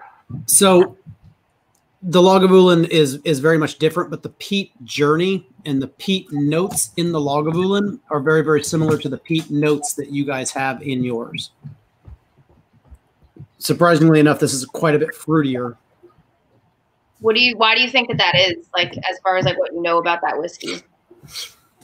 I don't know. You think don't what's sweeter? The the Lagavulin? Well, yeah, I Lager- didn't know if you knew some kind of like. I just don't know exactly how it's made and like why it might be similar in in that. Uh, it's got a wine finish on it. I don't remember which It one. does. The the distillers edition has a, a quite a few different wine finishes to it. Um, so I think that has that's playing a part in the fruitiness um, in in both of the whiskeys. But again, the the peat journey and the amount of medicinal, the amount of bacon, the amount mm. of all of the different things that kind of play into what peat can be is very very similar to the Lagavulin. Oops. Ben wants to know if there are more store picks coming to the U.S. There's a, like a 16 year Calvados. Oh, that's the one you shared with me, Ben.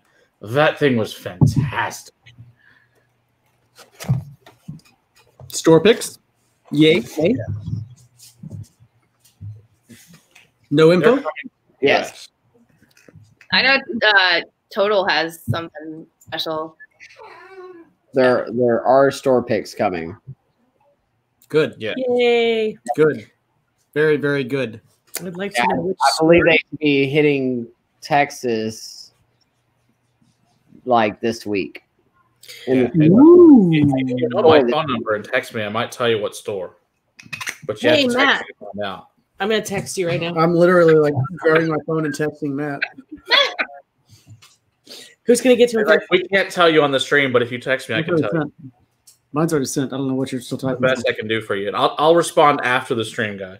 Not responding during. yes. That's fair. That's fair. Ah, all right. All right. Yeah, you know, obviously, I haven't tasted any of that that's coming in, so I'm excited to try it myself when it hits us. Absolutely. Ew. So the the Gallo okay, if you guys tried the Galway Bay series, they're awesome, awesome. The stout cask is the best stout finish we he's ever had. You Nice. guys ever had those by chance? Nope. There are so many. I don't uh, know, but yeah, that sounds great. Things. he spends 30% of his time innovating and playing with different stuff. So we, uh, Alex Chasko puts out a lot of That was innovation. great. I And think we're back the vast majority that we actually don't receive over here. Um, but They don't I- waste their time even telling us about it. They're like, you yeah, guys they, they don't don't know all we can about what you have there.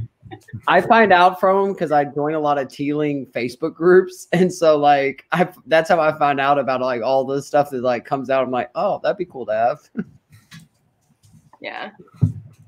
Maybe after COVID, we'll get to we'll get to go over there and and try it all.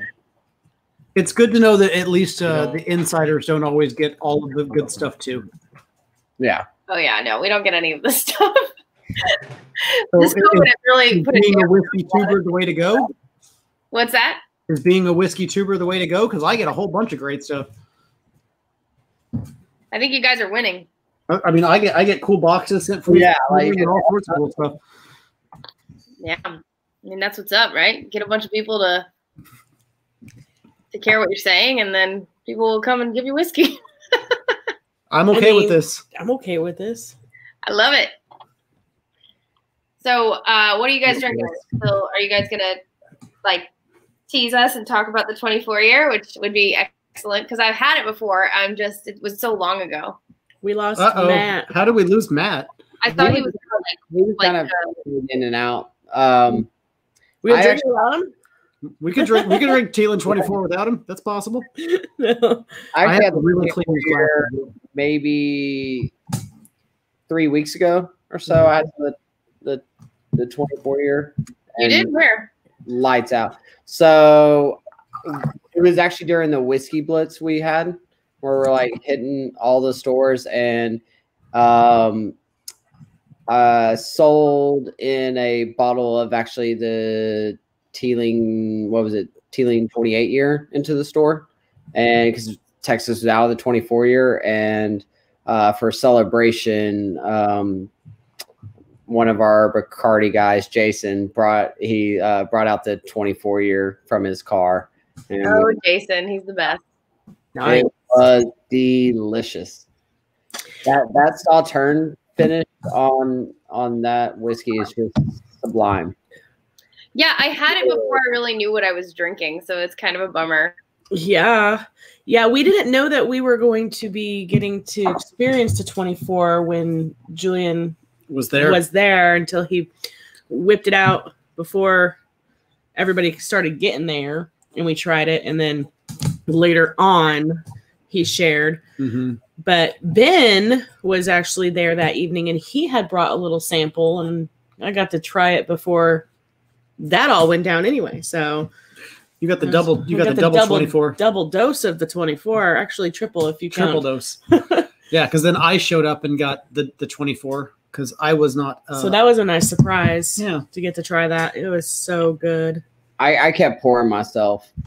So, yeah, Um, yeah like, looking around like, oh, y'all talking? Okay, just Oh yeah, and I remember Julian was very very generous and was Uh-huh. was incredibly. he was just nice like, I just to- want to keep a little of this for myself, and Right. you know, the rest is The rest is you know Meant to share. Meant to share. So yeah. that was and, and that he did. Uh, it was it was glorious. Oh yeah, I had a whole liquor bag when I came to the house that time, and it like we went through all of it. yeah, I remember that cool bag. Yeah. yeah. I wonder if the 24 is still over at Williams. He still got that bottle on. the I shelf. remember having to talk you down from trying from from buying a bottle after that night. Yeah, Hey, Yeah. that's what I mean. That's what we want, right? Like that's 400 Okay. four hundred dollars at the time was, uh, you know, a bit of a stretch. A little a little steep at that moment that in our moment life. of life. So uh, Four hundred is a great price for a twenty-four year old best single malt in the world. It really you is. I but, can't yeah, I can't I mean, argue with that. Four hundred dollars, no matter which way you cut it. But Yep. yeah, I mean, you know, different time, Different time. Yep. different, you know, Who knows if he still has it there or not? I bet it is. Be a really great Christmas present Would it? For Where is this? Next to your- She's talking about over at Mirage, Mirage. Fine Spirit. Oh and, uh, yeah, I love that. uh, last couple of times we've been over, there's been Is a it- bottle. So Is it Willie or what's his name? William. William, Yeah. William and Henry are the owner and operator. I might need to go buy a bottle. That's uh, Don't buy that bottle. Find it this week, and then when you come down here with Kat, bring it along. Yeah. right? Want to split it? But then who gets to keep the pretty bottle? mm, Mm, that's a tough one. hi, Weezy. Matt's having some issues. It looks like still over there. He's But trying. uh, he might be joining us here again soon. He's in the back room right he's, now, he's so in the back. we're gonna give him a couple more seconds before we Rip decide into. to Hey, move on without. I don't him. know what's wrong with it, but it's totally all- backed up. you're all grainy and stuff. And I don't know if it's, All also- it's something like I don't know what happened. Something's totally screwed up now. Ian said to tell your kids to stop streaming Netflix. yeah, right. Quit using Ah. up all the Wi-Fi. Do you have an Ethernet I, cord? I made them cut everything off. I made them cut all their stuff off. So mean. yeah, we got an Ethernet cord and connect directly in now because of that. So yeah, We had we had issues on a couple of streams, so we figured this would be the safest way. Well, unfortunately, the laptop doesn't take an Ethernet cord. Oh, it's time for a new laptop. yeah, you're still really grainy and stuff, but but we can hear you just fine. Luckily, your your Yeti mic is is working fantastically. All right. Stop it, the audio? Yeah, I don't know what happened, but something like uh, I, something must have happened in the neighborhood or something because it just went to crap, which has never happened previously. No. No, Too much this issue. Ardbeg always does that to me. And now he's gone again. Yeah. Well, boo. So I guess we should probably go ahead and Pour Pour- some Teeling without Here's him. pour some Teeling without him. We have 30 minutes left in the live, so we we got to get to the Teeling. We can't, we can't not talk about the Teeling 24 year. it would be irresponsible to our viewers to not It'd talk be a disservice. about the internet 24 year. Oh, his internet connection. All right. So Matt might be having issues with his actual home internet connection. Yeah. It looks better now. Um, let's see. We got a question Is this one here. clean? This one is clean and has been waiting for the 24. Heard that. It's a question from Donald there. I have not. Not not familiar with that series. Donald, tell us about it. Donald, would you like me to send you the link? You can come on in, man. You can mm-hmm. you can take Matt's place. Yeah, I mean, did did Matt already send you the wit link? I didn't hear about that. Huh? Oh, I just said I'd be excited to hear about. Oh, Yeah, I mean, let me see if he wants the link and I can forward it to him. Still have bacon. He oh my is- goodness. This he is, is what we so call- much fruit. Then come on in, Donald. Tell us about it. Tell us about all the things that we don't get over here. Oh, Matt's gonna restart his Wi-Fi. see if that helps. So tell us about that 24. Tropical fruit bomb, Oh God, papaya and mango and guava, mm-hmm. nectarine. I smell pineapple. coconut. Oh Jesus! This is so rich and deep. I love old whiskeys. I love the nose of old whiskeys. I, I feel like I could spend Let me go ahead and rephrase that. I love the I love old whiskeys that aren't always bourbon. Okay, well, that's fair. Uh, you'll see in our next set of reviews that we have coming out. Mhm. Um, we tasted a rather old bourbon. It was Oh, not yeah? As pleasant smelling as this. I can I can tell you that. This is like Well, it's I- interesting with the climate being old. You know, like if it's over in a colder climate, that's going to be so different. Yeah. yeah, and I mean if it's the if it's what was that? It was Kyle trying to find me in a weird face. No. You got Yeah. to He was, he was- You got to mute that shutter. He does this all the time, I swear, guys. We'll be on Zoom calls and it'll just be like me in the background making like a ridiculous face and like on a whole work call. That's hilarious. It's pretty true. Uh, I was actually getting Will sniffing that glass because it was so sensual. He's like, "It so I get into it, man. I get into it. It's a, it's a. Sensual. Eventually, you'll you will become a background of one of my Zoom meetings. Nice. Fair. I'll, I'll take it. That's sir. what that's what people end up doing. I, I catch people in weird faces and then uh, I screenshot it and make them backgrounds of my Zoom meetings. Well, I, I appreciate it. Course. Uh, This is this is glorious. Yeah. Um, Yeah, I could spend a good hour just in the nose. I, I really could, and I could probably find different things for about thirty minutes or so. Hey there, Eric. Welcome on in.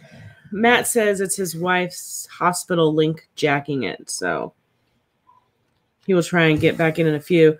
I don't know if Donald, Donald, are you going to come in? Come in and tell us about that. Come on, make yourself presentable. Put on some clothes.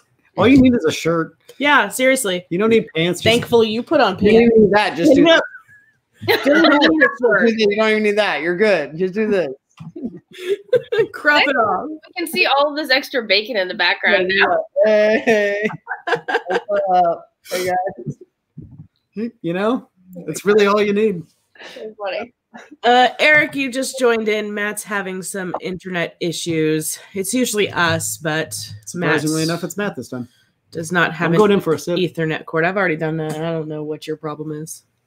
This is yeah. I the the fruit bomb, the tropical fruit bomb that this is, is just beyond insane. It's nothing like anything I've ever had before. Even with some of the other older Irish whiskeys that we had, it's just it's Wow. insane. Hey, It's- Cliffy. It's guava and peach that kind of take over the mid palate.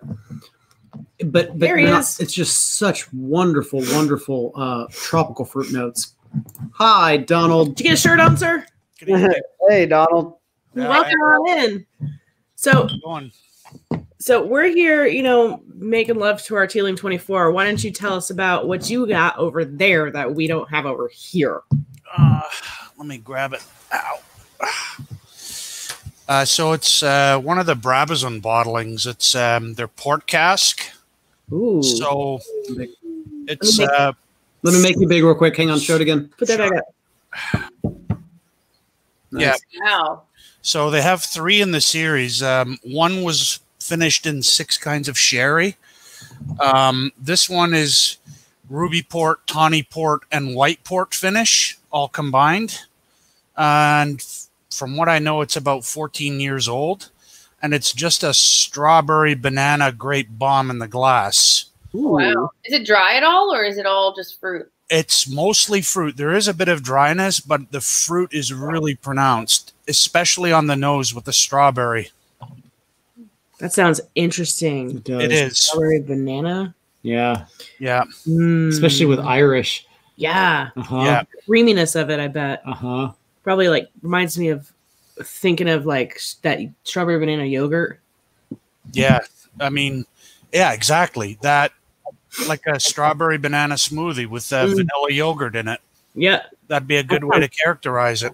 sounds wonderful. Sounds delicious. Yeah, it sounds really great. I will say with this one, it did take a while to open up because at first you kind of get that overwhelming nor- uh, note that uh, port tends to bring. But Mm. once it opened up, just really, really good. I so do an account in Austin that has the 24 still, and I'm like, can I justify spending money on that? Yes, yes, you can. Absolutely. I, I, as I'm sitting here sipping on it, honestly, like I'm getting closer and closer to spending that money. so Matt, you're kind of back. There. Finally back. I don't know. Something crap out. Does William still have a bottle of the 24? Do you know? I don't think so. Not that I'm aware of. But you can ask him. You bet your ass I'm gonna.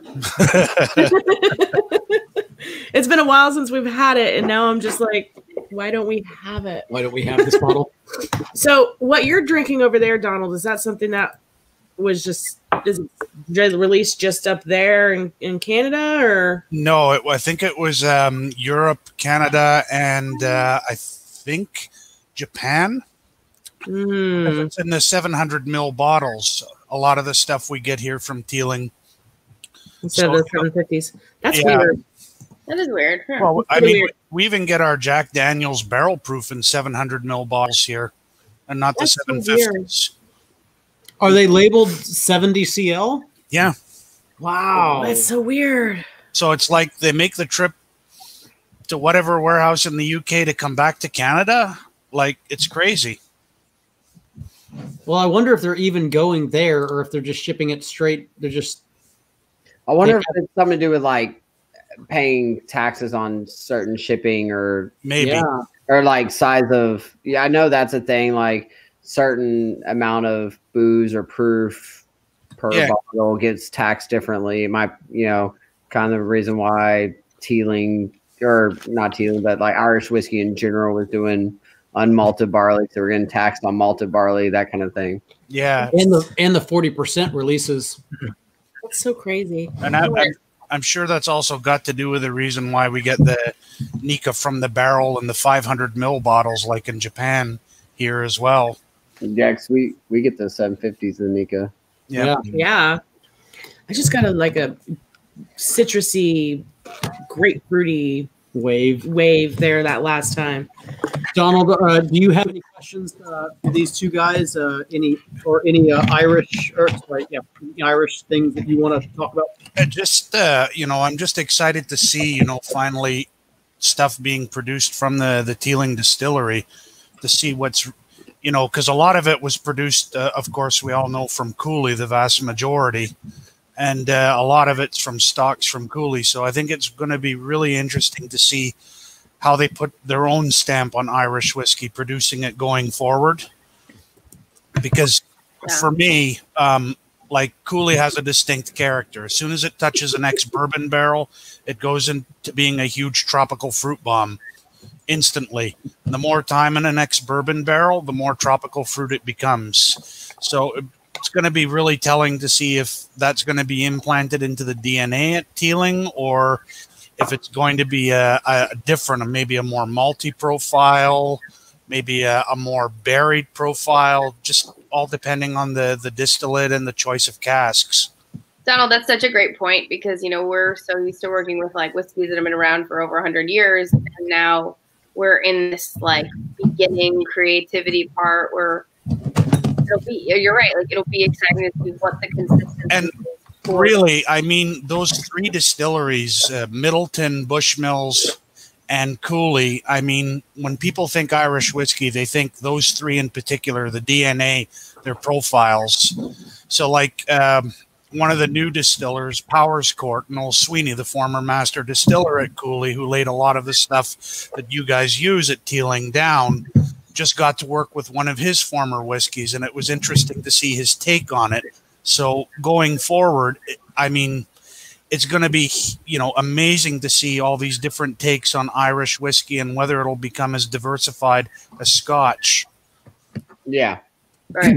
100% agree it's exciting times Yes, it is. It is. There, there are some things to be excited about. yeah. and not really just for Teeling, but I really feel like just for Irish whiskey in general, it's it's one of the fastest growing uh, spirit categories at the moment, um, and to kind of see what everyone's take on Irish whiskey is is going to be very just kind of fun to join that journey and check it out. Oh, absolutely. I mean, even when you look at the senior Teeling with Great Northern, um, him putting out you know peated uh, whiskey as well, and then supplying it to smaller um, non-producing distillers at the moment who are trying to get up and running. Uh, I mean, it's it's incredible. Yeah, totally agree. Yep. I see someone mentioning Binny's, which is what I mentioned earlier. Chicago has a lot of like the extra cool stuff that we always get. Yeah, Uh, they they did an acacia wood cask as well. And the chestnut. That's Yeah. like Alex mentioned that that's one of his favorites that he's done. Yeah, I I was fortunate to get a sample of it. So Yeah, me too. I yeah, wish we got more of that stuff down here. hmm Things don't make it all the way down to Texas all the time. One of our regulars, uh, Eric Evanson, was asking, "Are you planning on any age stating age stated Teelings coming out?" I assume you know that's obviously the plan, but We are not told about that. However, Okay. Well- just being that like so much of our whiskey is is and could be older without the age statements on it, I'm sure that they are planning something in their back pocket, and I'm excited to see what that could be. Yeah, like the just released Brabazon Series 3 is actually the first of the series that's got an age statement of 14 years on it. Um, and I know that a lot of like the, the Renaissance series, like the 18 years, have age stated. Uh, the revivals were all age stated pretty well. Um, that 12 year revival for a 12 year single malt when it first came out blew my socks off. It was amazing stuff. That's Yeah. awesome. Yeah. You know, it's kind of hard because we haven't really gotten a chance to try like all of like the crazy innovations that Teeling has done. So we are excited as as you guys just to like hear hear, hear y'all talk about it. Yeah, I, I tend to watch them like a hawk. so like as soon as one comes out and I know it's either available in Ireland or available here, I'm either ordering and having it shipped to my friend in the US to bring back, or I'm waiting until it drops here by cozying up to one of the liquor store managers. Yeah, I mean, I'm all over the place in different liquor stores. So if I see something that's a little bit more rare, I can I can shoot um, a note over to Matt and see what happens from there. yep. Yeah. So I'm gonna pour one of the most interesting whiskeys I've probably had from Teeling. that we probably don't have. No, because again, it's yes, 700 mil bottles, but it's the uh, barley wine finish. Barley wine. Huh. Yes, Interesting. yeah, I'm never been a barley wine fan. And it came out in a clear bottle. What can Yep. you show, show me the, the Yeah, can you see color? the color on that?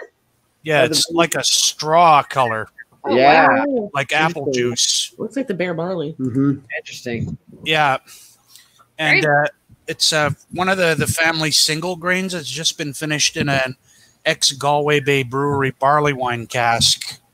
Because um, the ones that I have, they did a stout and also a strong uh, red Irish ale cask finish too.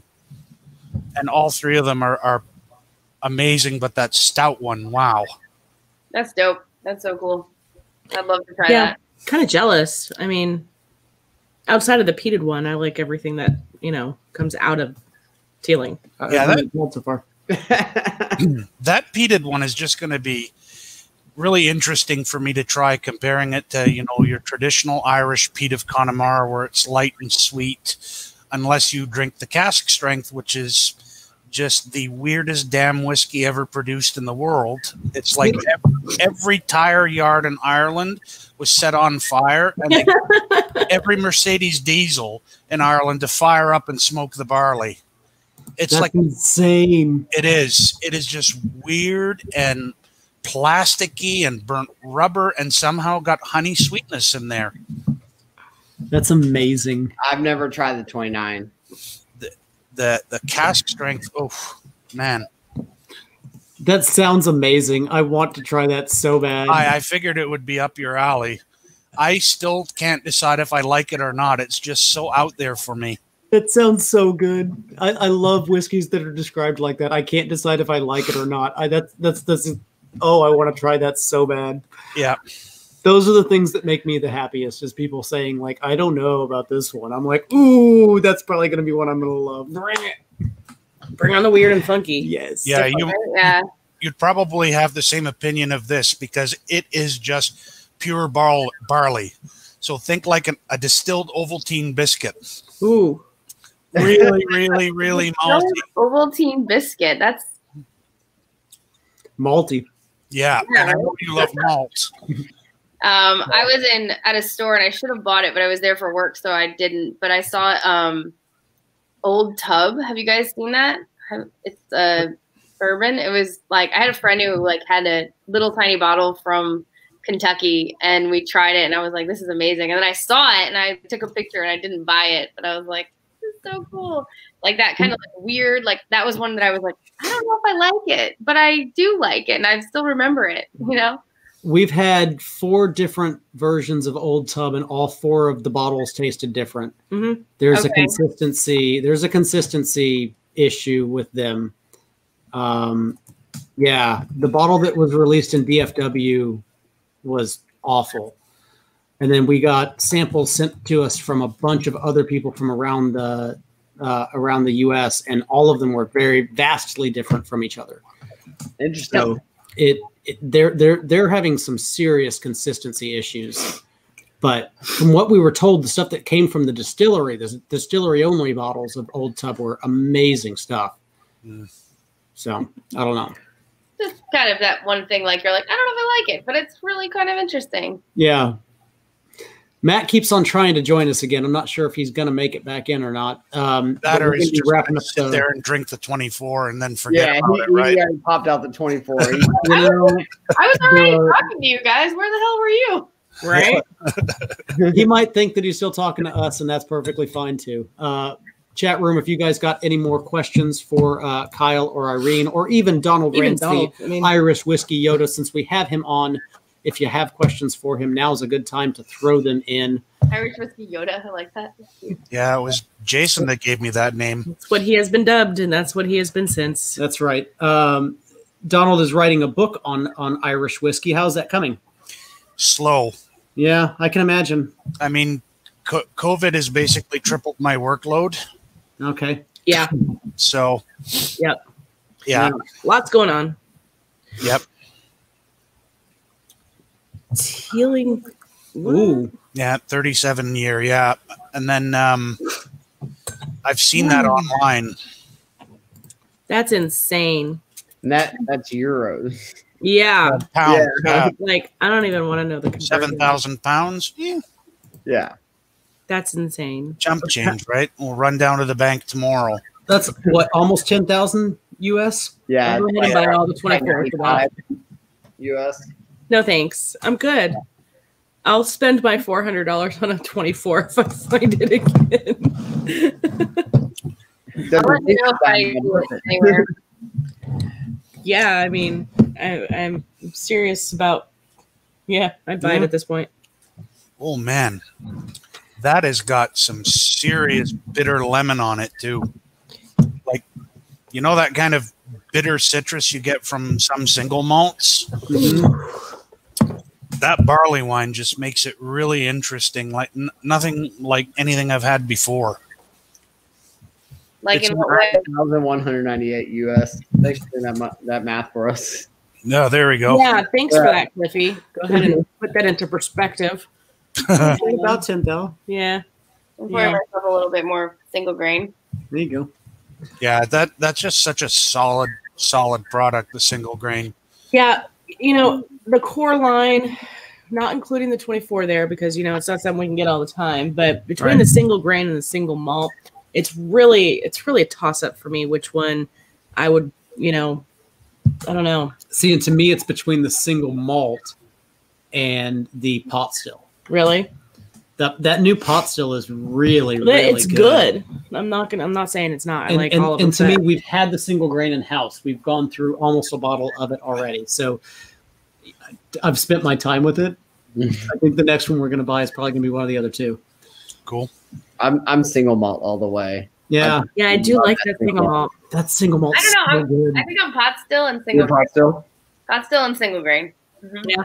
Pot still and single grain. Hmm. Okay. Yeah.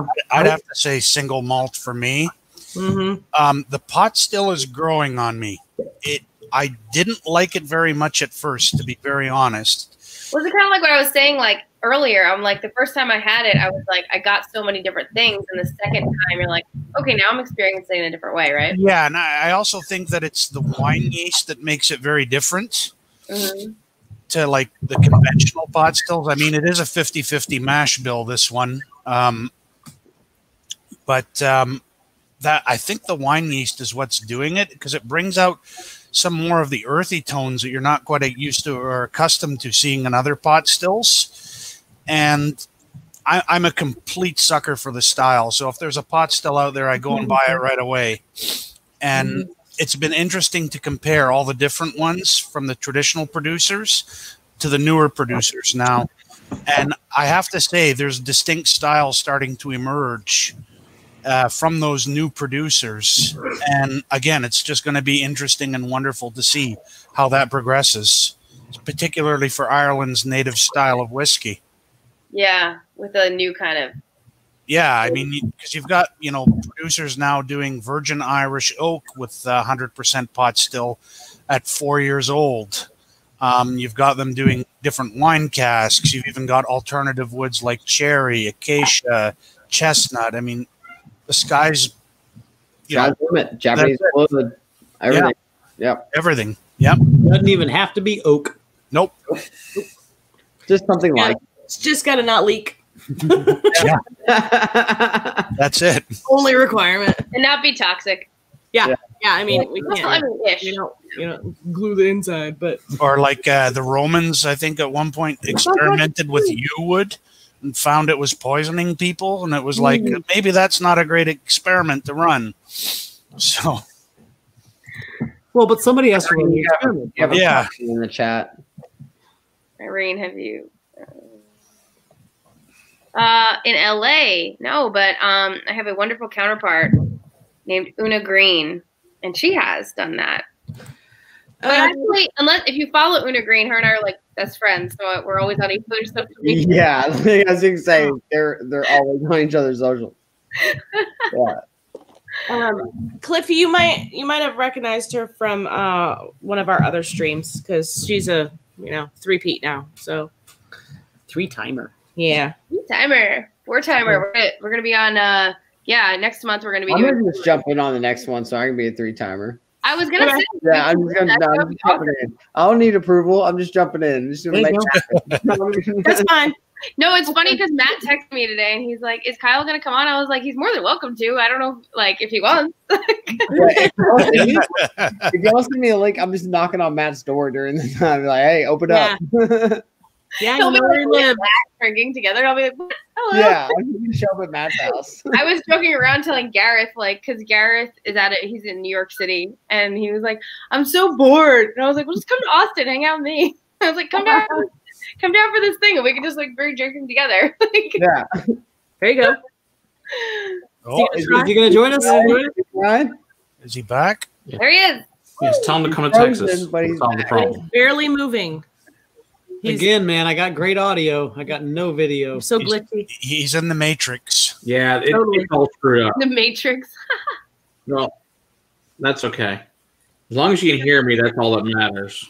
That's fair. I, the video Don't get squat. Yeah, like I said, my, my wife's hospital stuff is totally jacking with it at the moment. And she won't let me reset the router because it's going to screw up her hospital connection. So Oh, I no, can't do people's it until uh, she's done with her report. And unfortunately, her But what report is about people's totally whiskey screwed up. Knowledge?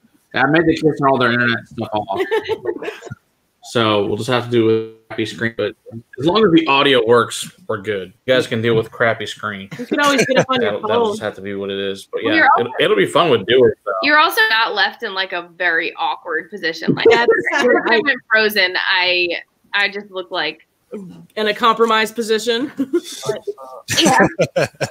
I really wish I could do uh, backdrops in this one because I have so many great screenshots of Irene. so next time you're on, go ahead and send us some pictures, and we can change that bacon backdrop. Perfect. Or- I have X so many of her just like pounding the. You know how we, Like, you know how we put these pictures up. Oh, speaking of put the pictures up, we're about to get off the stream real quick. Let's go over some of these other ones real quick because your tasting room is beautiful. Yeah. So oh yeah. Yep.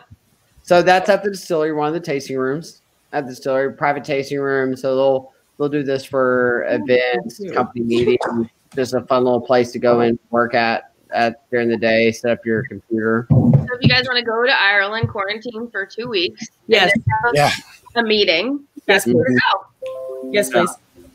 Yep. Okay, and then we'll have So that, Yeah. those are that uh, you know, Oregon pine washbacks and the stainless steel ones. Cool. Yeah, we mentioned that um, earlier when we were talking about the pot still. Pot still, yeah. And then the last one we have here is The, The bang, Bang Bang Bar. Kyle, you tell the story about the bang. No, go for it. No, you do it. So there was a man. It was so interesting how uh, our one ambassador talked about it, but That's why I don't want to say it. I know. How did he say it? It was No, I'm not going to say it. how did he say it? Uh, anyways, there, there's bas- yeah, there there was a guy that would go around and like he was like a character in Dublin and kind of like they called him Bang Bang. He would just go and like He'd like show up at a play randomly, like a local play, and just be like, Yeah. "Bang, bang, bang." like, like somebody's Sam. Bang, bang, bang. Wow. but we have we we have uh this amazing uh brand ambassador from Ireland that uh just through translation in one of our meetings he's like so yeah because we're trying to figure out what we were talking about and we're like what is where's the name of this bar come from and he's like oh this guy he went around just banging people and like, and we're like wait, what? We're like, wait, wait, wait, what? the bar's named after what? He's like, yeah, we would go to like local plays and bang people. And we're like, wait a minute, what? Oh, Oh, forgot one word to that. that's wonderful. That is just wonderful. And We thus the all bang around. bang. yeah, all right. So technically, he would say he would. So Shoot. Yeah. he would say he would finger bang people. Oh my god. Oh, that's Technically, that's what he'd say. I was trying to be. I was trying to be PA. He'd go around finger banging people. Say it. You don't have to be PA around here. And this was in front of like so many of our bosses. And I, I can't wait to send this live stream back or this stream to our bosses on recap. That, that, Yeah, that, is, I don't think brilliant. it's this far. that is No, just the most brilliant Maybe they'll think it's hilarious. They Uh, they have to watch two hours of stuff. They'll probably We were dying. We're like, what? It's fine. yeah, That's hilarious. I think every big city's got a character like that. Oh, but that's wonderful. Oh, So that's what the Bang Bang Bar is named after. A guy that used to go around just, you know, finger banging people. Oh God. So when you go there, you'll know the story. Um, what I also think is funny is the POS system, like the register. Kyle actually saw this when we were doing a distillery tour. oh You yeah. go to the website and do your own distillery tour, and if you can figure out how to maneuver yourself around to the back of the bar, there's a picture of Keanu Reeves dressed like Jesus. Yes. It's the most random thing ever. And it's on like so it's on the online virtual distillery tour. You can like just pick stuff and you can pivot the camera. Every three everything's a 365 degree angle kind of deal. They get the mm. angles from the whole distillery. It's absolutely fun to like go on the Teeling website and play around with that. But if you go to the Bang Bang Bar and if you get good at like moving stuff around, if you go to the register and flip it around, there's Keanu Reeves dressed as Jesus on the register. I was like, what is this? That's brilliant. So funny. Yeah. But That's now we stupid. really can't wait to go in real life. Yeah. For real. Got to plan a trip to. Uh, Uh, oh yeah, well, I mean, yeah, I want to go anyway, yeah, but now I've got to go. yeah. To Ireland before? No, uh-uh. we have not, but we we're it's it's on our list. It's a bucket list for sure. there in Scotland are gonna happen. hmm Same. I have really no excuse of not to been because I have like two different sets of cousins who live there, and I'm not Irish. I'm Irish. I'm of Irish heritage. Uh, I just yeah. I'm sure there's a little bit of, you know, I'm just an all American mutt, you know. My mom's a Donahue. All right. So, anything you guys need to let our The viewers know, know. about Teeling coming up? Anything that We talked about some releases coming out in uh, January of next year. Yeah, you can get pot still right now. Um, I would, uh, you know, support your your independence as much as you can. If they don't have it and it's one of your favorites, just ask them to pick it up. Um, and it's you know a great price point for how special it is. And then yeah, next year the uh, the Blackpitts is going to be coming out, and you never know, you might be lucky enough to find the a 24 laying around somewhere. Yeah, I you know, kind of going back to you know Donald's point, go out there, try some of the the Irish whiskeys out there because it, it's a growing category. I think Teeling's had a lot of great success and a lot of fun with the category and it's been doing some great stuff. There's always new innovations going out there. So, you know, just open yourself out up to the Irish category in, in itself. And uh, while you're doing that, pick up some Teeling, try it. Yep. Agreed. Absolutely. And there's like, you know, that's what's so fun about doing these types of things because there there is some Irish whiskey out there that we're like, like, oh, I mean, that would be that's okay. You know, there's a lot of different things on the shelf, and that's why we have our jobs. Because if there was one whiskey to drink, then Yep. that wouldn't need this job, right? so Right. yeah, everything's great in its own unique way. So, but yeah, Well, we appreciate it, guys. And what do we have coming out tomorrow and when and Thursday? Mm, You edited that shit earlier. Come on now. yeah, and I don't remember at all. something really So, old with a bourbon age. Is that one coming out this week? Let's see. Hang on two seconds. I got a couple more buttons I got to click on, and then I'll be able to tell you exactly what's coming out uh, tomorrow and the next day. Tomorrow we have coming out for us, if it loads. Seriously. I want to say it's Koval. I think we have Koval single barrel bourbon. bourbon and oh my god, rye from High West. Yes, Koval bourbon and oh my god, right? Do you see this? OMG rye. Uh, Whiskey Crusaders just put it in the that Matt did. Oh, okay. Oh, I'm, re- I'm reading the chat. way to go, Matt. He's like, how do you get hold of my schedule? Koval's coming out tomorrow. Uh, we'll have uh, OMG Rye coming out on Thursday's release. Yeah. Yeah. Stay tuned for an amazing Irish whiskey book from Donald that'll be out, you know, 2022. Yeah, wh- whenever this stupid thing is over. I'd be happy to get a quote in there. You know, no big deal. Yeah, cool. Did anybody get a screenshot? oh, please, if we could all make that simple real quick and go. I got You know Don't what? tell me I want to. There's always the replay.